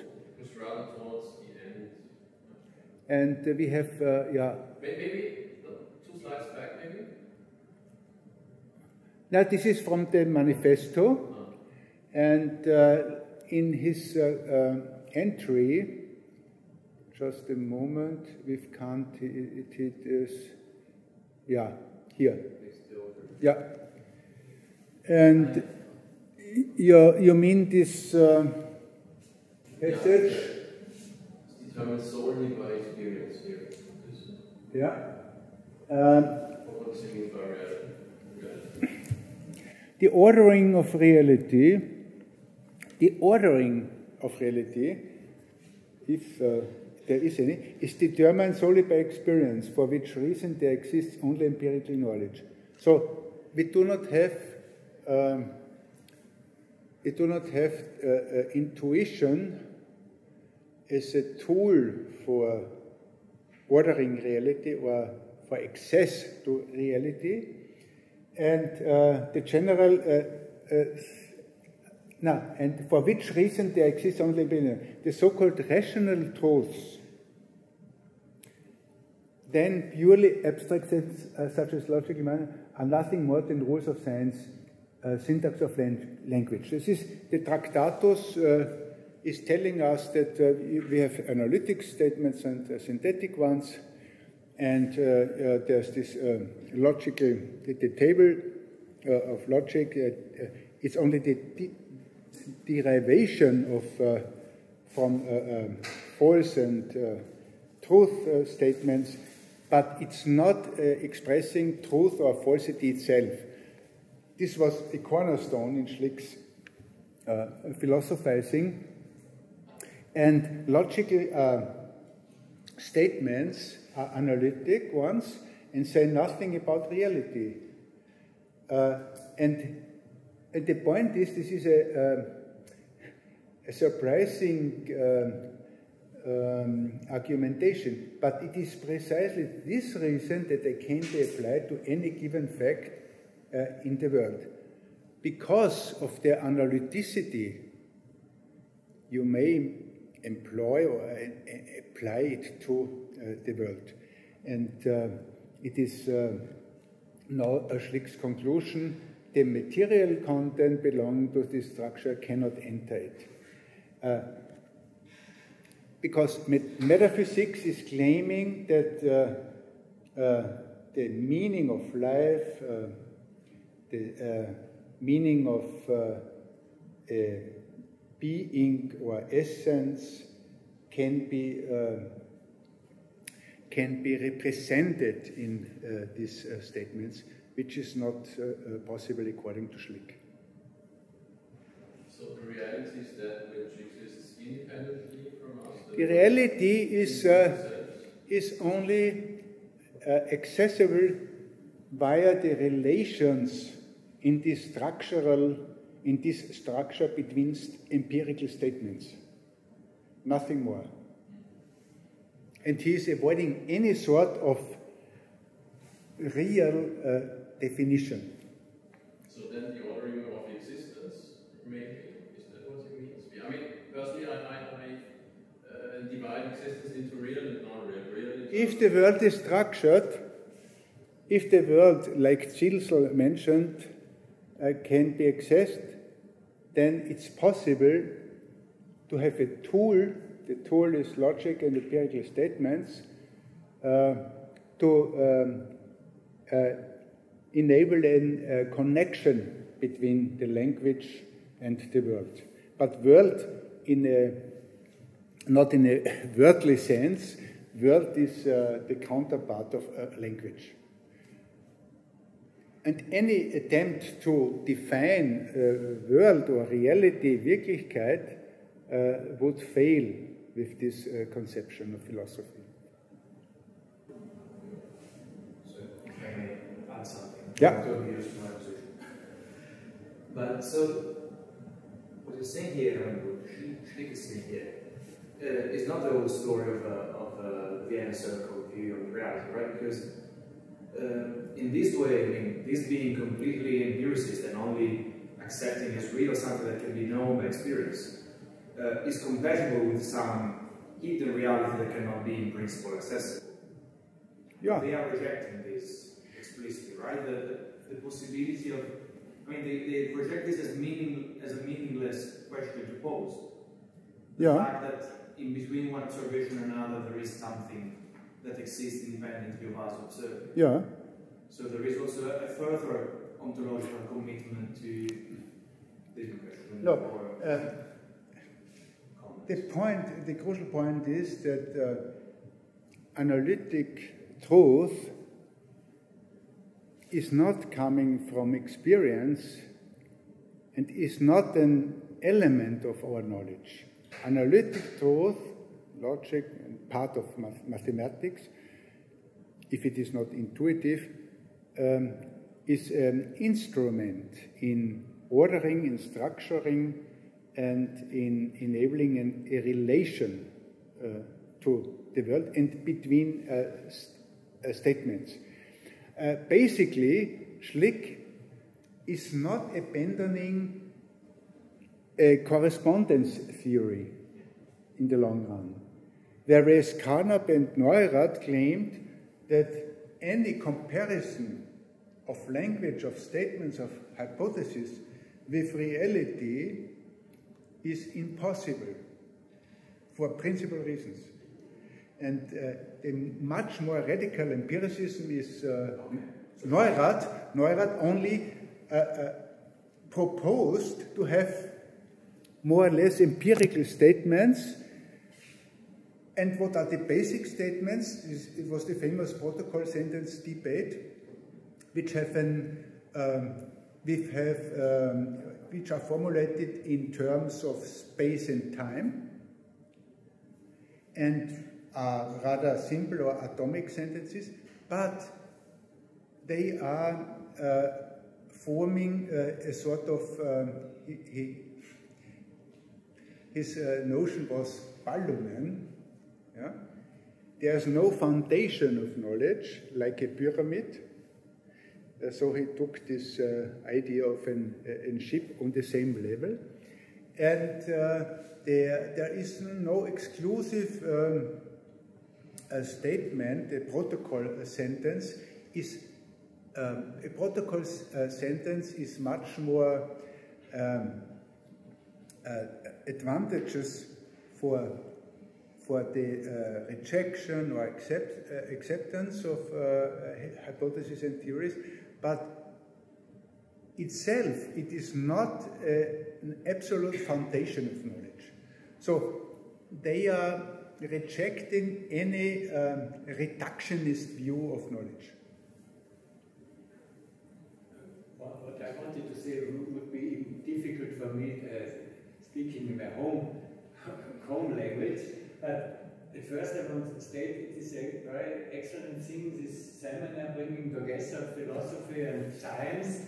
Uh, in, in, our times, uh, specialization is, is a, a, real uh, important thing, uh, and maybe one can learn that reality is one shouldn't consider on reality as an absolute thing, uh, as a, a dynamical component. For instance, Mach learned much from Kant and could go one step further.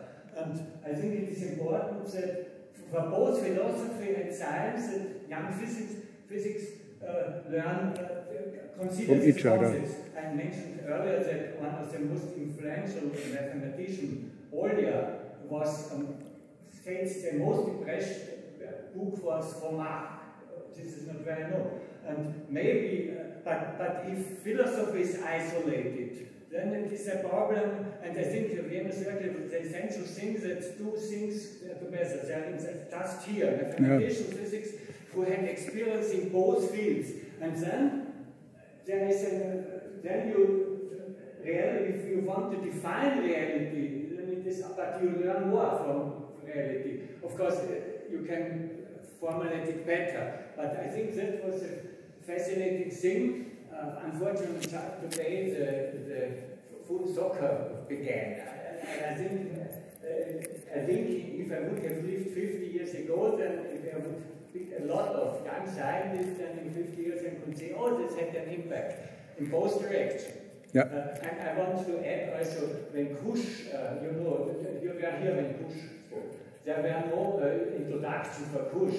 Kusch was professor in, in, in Cambridge when my son also and he was an ESC grant, he's really also a world leader. I only want to, you had, it was really an, an excellent thing, you had really, every sentence was gold, or was really worth. But, uh, but I, of course I have spoken too much, but maybe you uh, feel what I wanted to say, but if it could be said, uh, if, could be, if I could be said clearly, then uh, I'm not so.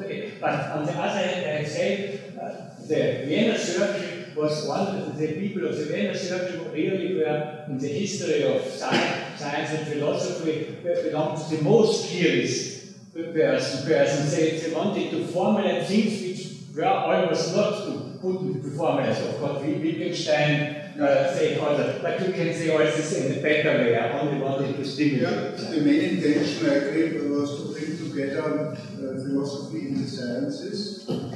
And uh, after all, there were at least two branches in logical empiricism. Those who claim that philosophy has still a role and function, namely uh, to clear up the meaning of these statements of the sentences, to produce language analysis, whereas uh, the sciences are providing us with facts uh, and with uh, knowledge. And on the other side uh, was the, the branch around uh, Carnap Private mainly, who claimed that uh, we can get rid of this uh, old-fashioned discipline because what is the proper function, uh, improvement? Uh, it is not, not uh, useful anymore because the sciences itself are capable and able to produce their criticism, their epistemology, their methodology.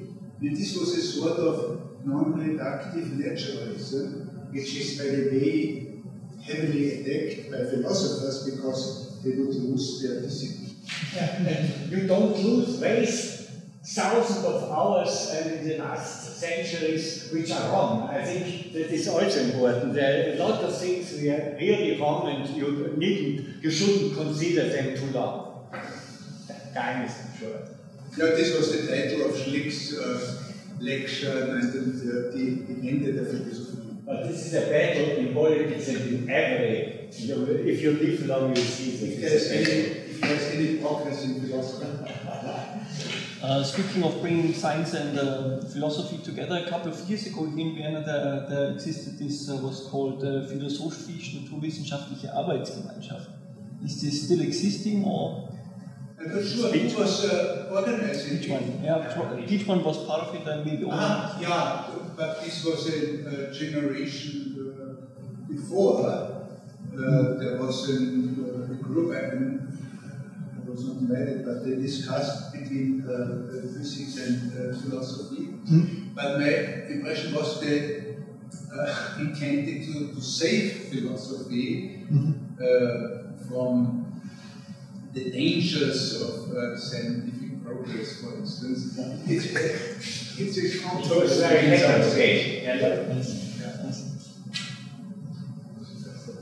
I just want to know your opinion about uh, the actuality of uh, logical positivism and the two-day philosophy and uh, debates on realism. Because for me, the, the two-day philosophy on, or debates on realism, for example, Van Fraassen's uh, theory is just uh, descriptive philosophy.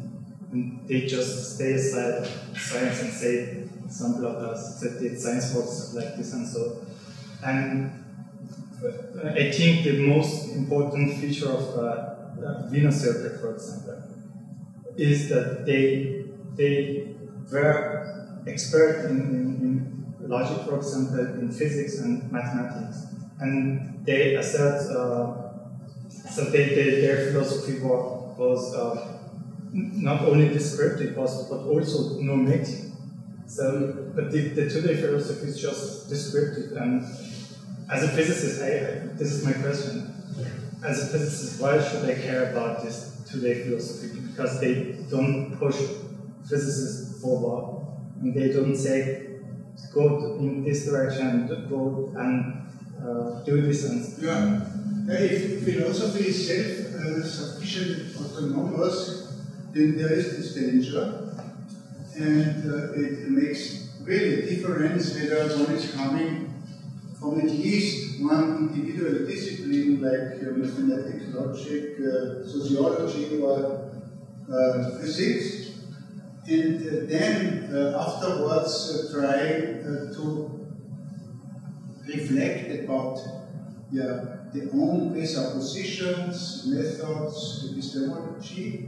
whereas in pure philosophy, they are thinking uh, the, uh, this good, good old idea of being the queen of the sciences. Yeah? This is not the case, and, and uh, Vienna Circle heavily attacked this idea that on the top uh, is uh, philosophy, eternal philosophy, uh, school philosophy, and this philosophy is normative in telling to the uh, basic uh, researchers what they should do, what they can know, what they uh, can confirm, etc. So the normative approach, but this scientific world conception or logical empiricism was uh, really close to uh, the on ongoing research, like uh, relativity theory, quantum physics, evolutionary epistemology. So it was the idea that uh, without uh, knowing the sciences and research, it doesn't make sense uh, to uh, go on with philosophy as a separate discipline. I want to add that, but this problem is also within physics and within mathematics due to specialization. And uh, I have to add, uh, in, in, the history of our university, not only in the Middle Ages, but even in ours, in the last century, uh, uh, philosophy was ancilla theologiae, the servant of theology.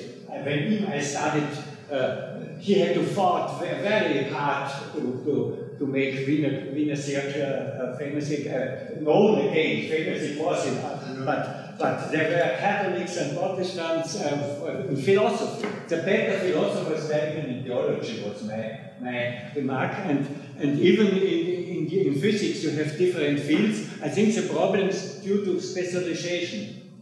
And, uh, if you see Kusch or Wiener Circle, then uh, there's a lot of philosophers, but there's a lot of mathematicians, even Brouwer. I think this problem is a great problem in, in, in science also. Mm -hmm. But, but it's not possible. Theolog the theologians say you must do this. And other philosophers don't want. But for the young people, it is good if, um, if an if a Boltzmann or others say you should do this, of course. But you have Zeilinger and you have such speakers. Yeah, one has to add that each individual scientist is uh, using methods sticking to an epistemology, even if it is not explicit. So there are big suppositions and requirements, and to make it explicit would be a task of uh, philosophizing. that some individual uh, scientists do it uh, for themselves. Others uh, think, uh, okay, uh, they are going into the department and the, into the lab they know what they are doing, they do not need any advice or reflection on that, what is observation, what is perception, what is evidence, what is uh, probability, what is uh, determination, determination. Uh, so uh, there is a tension uh, coming from the sciences itself towards philosophy, but the offer is not a normative discipline, but providing the scientists with a, tool, with a, a method, and with epistemological accounts, like if you are going using the microscope, or if you are looking, know it all, uh, brain imaging. Is this reality? Is this the brain? Is this the function? So, along the question whether the imaging itself is showing uh, anger or pain, which is, which is done, by the way, causes the question, what are we seeing? It's, a, it's an indirect evidence, and this indirect evidence has to be interpreted. And uh, this is uh, more or less uh, philosophical approach, a reflection on the methods and the uh, limits of uh, our knowledge.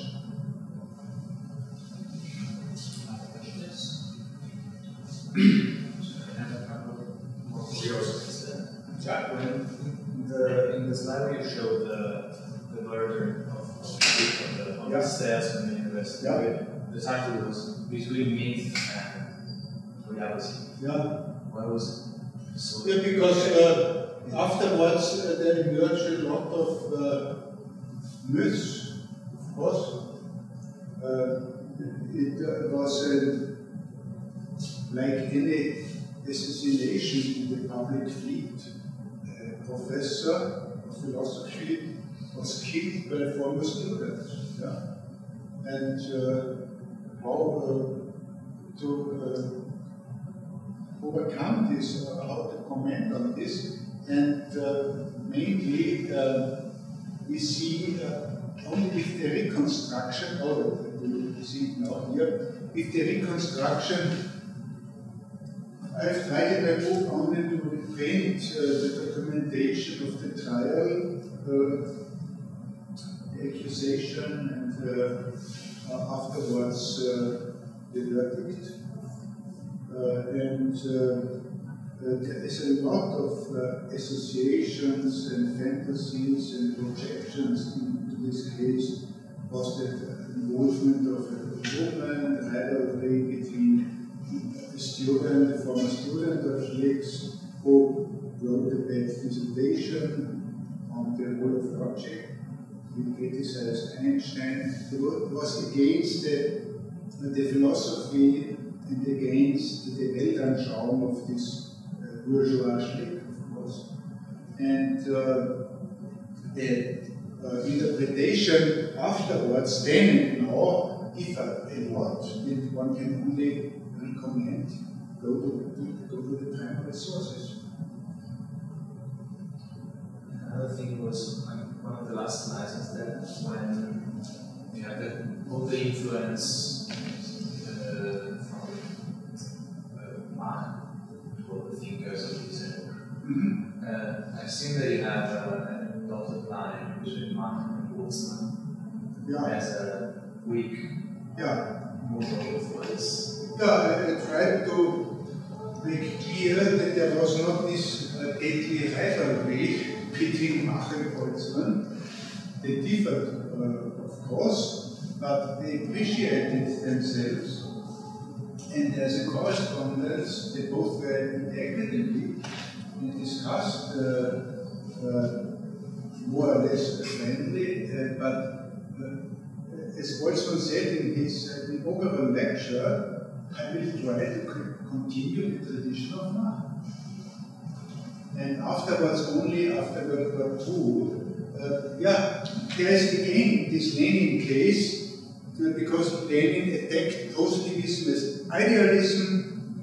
This is uh, reactionary, and on the other side, you have materialism and realism. This is progressive. And this uh, dualism continued uh, until the break of the fall, fall of the wall. So, uh, and with this, uh, there was also the uh, uh, estimation that uh, Boltzmann is rather realist and materialist, therefore Lenin and he was praised with Planck. And Mach was an idealist and positivist. So these are cliches which have to be debunked. It's, it's only ideology. And for this reason, it is good to read the basic text, the primary sources, and uh, for instance, or, or go to, the archives and read the, the correspondence of those. Just a very short question. So, if I read correctly, at one point you said the church rejected Kant. Uh, yeah. Uh, as, as product of the French Revolution. Uh, yeah. Is this so? Is this purely for political reasons or also for? Yeah, in Austria there was a specific uh, development where the Church, Catholic Church, played a crucial role because the Protestant Kant, who was in sympathy with the Enlightenment and French Revolution, was uh, not very well uh, received in the Habsburg Empire. And at the same time, this enabled a specific uh, different uh, development in philosophy because there is no uh, transcendentalism, idealism, and also Hegel, Kant, Fichte, uh, sort of a dialectic uh, philosophy. And uh, it's a, um, one has to understand that uh, is uh, going back to Aristotle and scholasticism and to the Bolzano tradition, the anti-Kant, the Bohemian anti-Kant, is a, a, different feature in the Habsburg monarchy. But you're right that uh, he was praised but also feared as a philosopher of mm. revolution. He wasn't revolutionary, but he, he condemned, uh, in his later years, he condemned the French Revolution. As last question, then, just a short uh, historical question. What was the connection between Husserl and Vienna? Between Husserl and Vienna, Vienna Husserl? Yes. Yes, it's uh, uh, interesting. Husserl was a disciple of uh, uh Mach, and he uh, praised uh, Mach, and later on was in seen as a follower of Brentano, the phenomenological movement, and Husserl was immediately seen as a sort of fascinating partner, discussion partner, because he was, uh, his phenomenology uh, claimed uh, to, to, to coin philosophy, Philosophie als strenge Wissenschaft. Philosophy as exact science. And for these reasons, these ideas were discussed in the Vienna Schlick Circle, and there were uh, some remarkable overlappings. And especially uh, Felix Kaufmann praised uh, for his uh, uh, elaboration of a clear and exact uh, philosophy, sticking to common sense experience and only the phenomenon as his uh, departure and uh, last uh, achievement. But uh, Husserl was at the same time a, strong anti-psychologist. Uh, so uh, philosophy and uh, logic is not based in an evolutionary context and not in psychology and physiology. but Husserl's uh, contribution are um, read at, at, this time, but it was not seen as a variation of logical empiricism. But Husserl himself uh, would have uh, would have very last after the last. Uh, an observation. Uh, i am a follower of Kant. I, I divide existence into things in themselves and phenomena and I have observed remarkable differences between Kant's critique and the definition of logical empiricism in the manifesto. Mm-hmm. Um, to, to, I mean, uh, in the critique of pure reason, Kant first starts with the aesthetics and then proceeds to the logic, and we see the same thing in, in logical empiricism, actually, same basis. Uh, to, to quote, uh, wir haben die wissenschaftliche Weltauffassung im Wesentlichen Äh, durch zwei Bestimmungen charakterisiert. Erstens ist sie empiristisch und positivistisch. Es gibt äh, nur Erfahrungserkenntnis, die auf dem unmittelbar Gegebenen beruht. And Charles noted that uh, given and the given is also very Kantian, which he, yeah.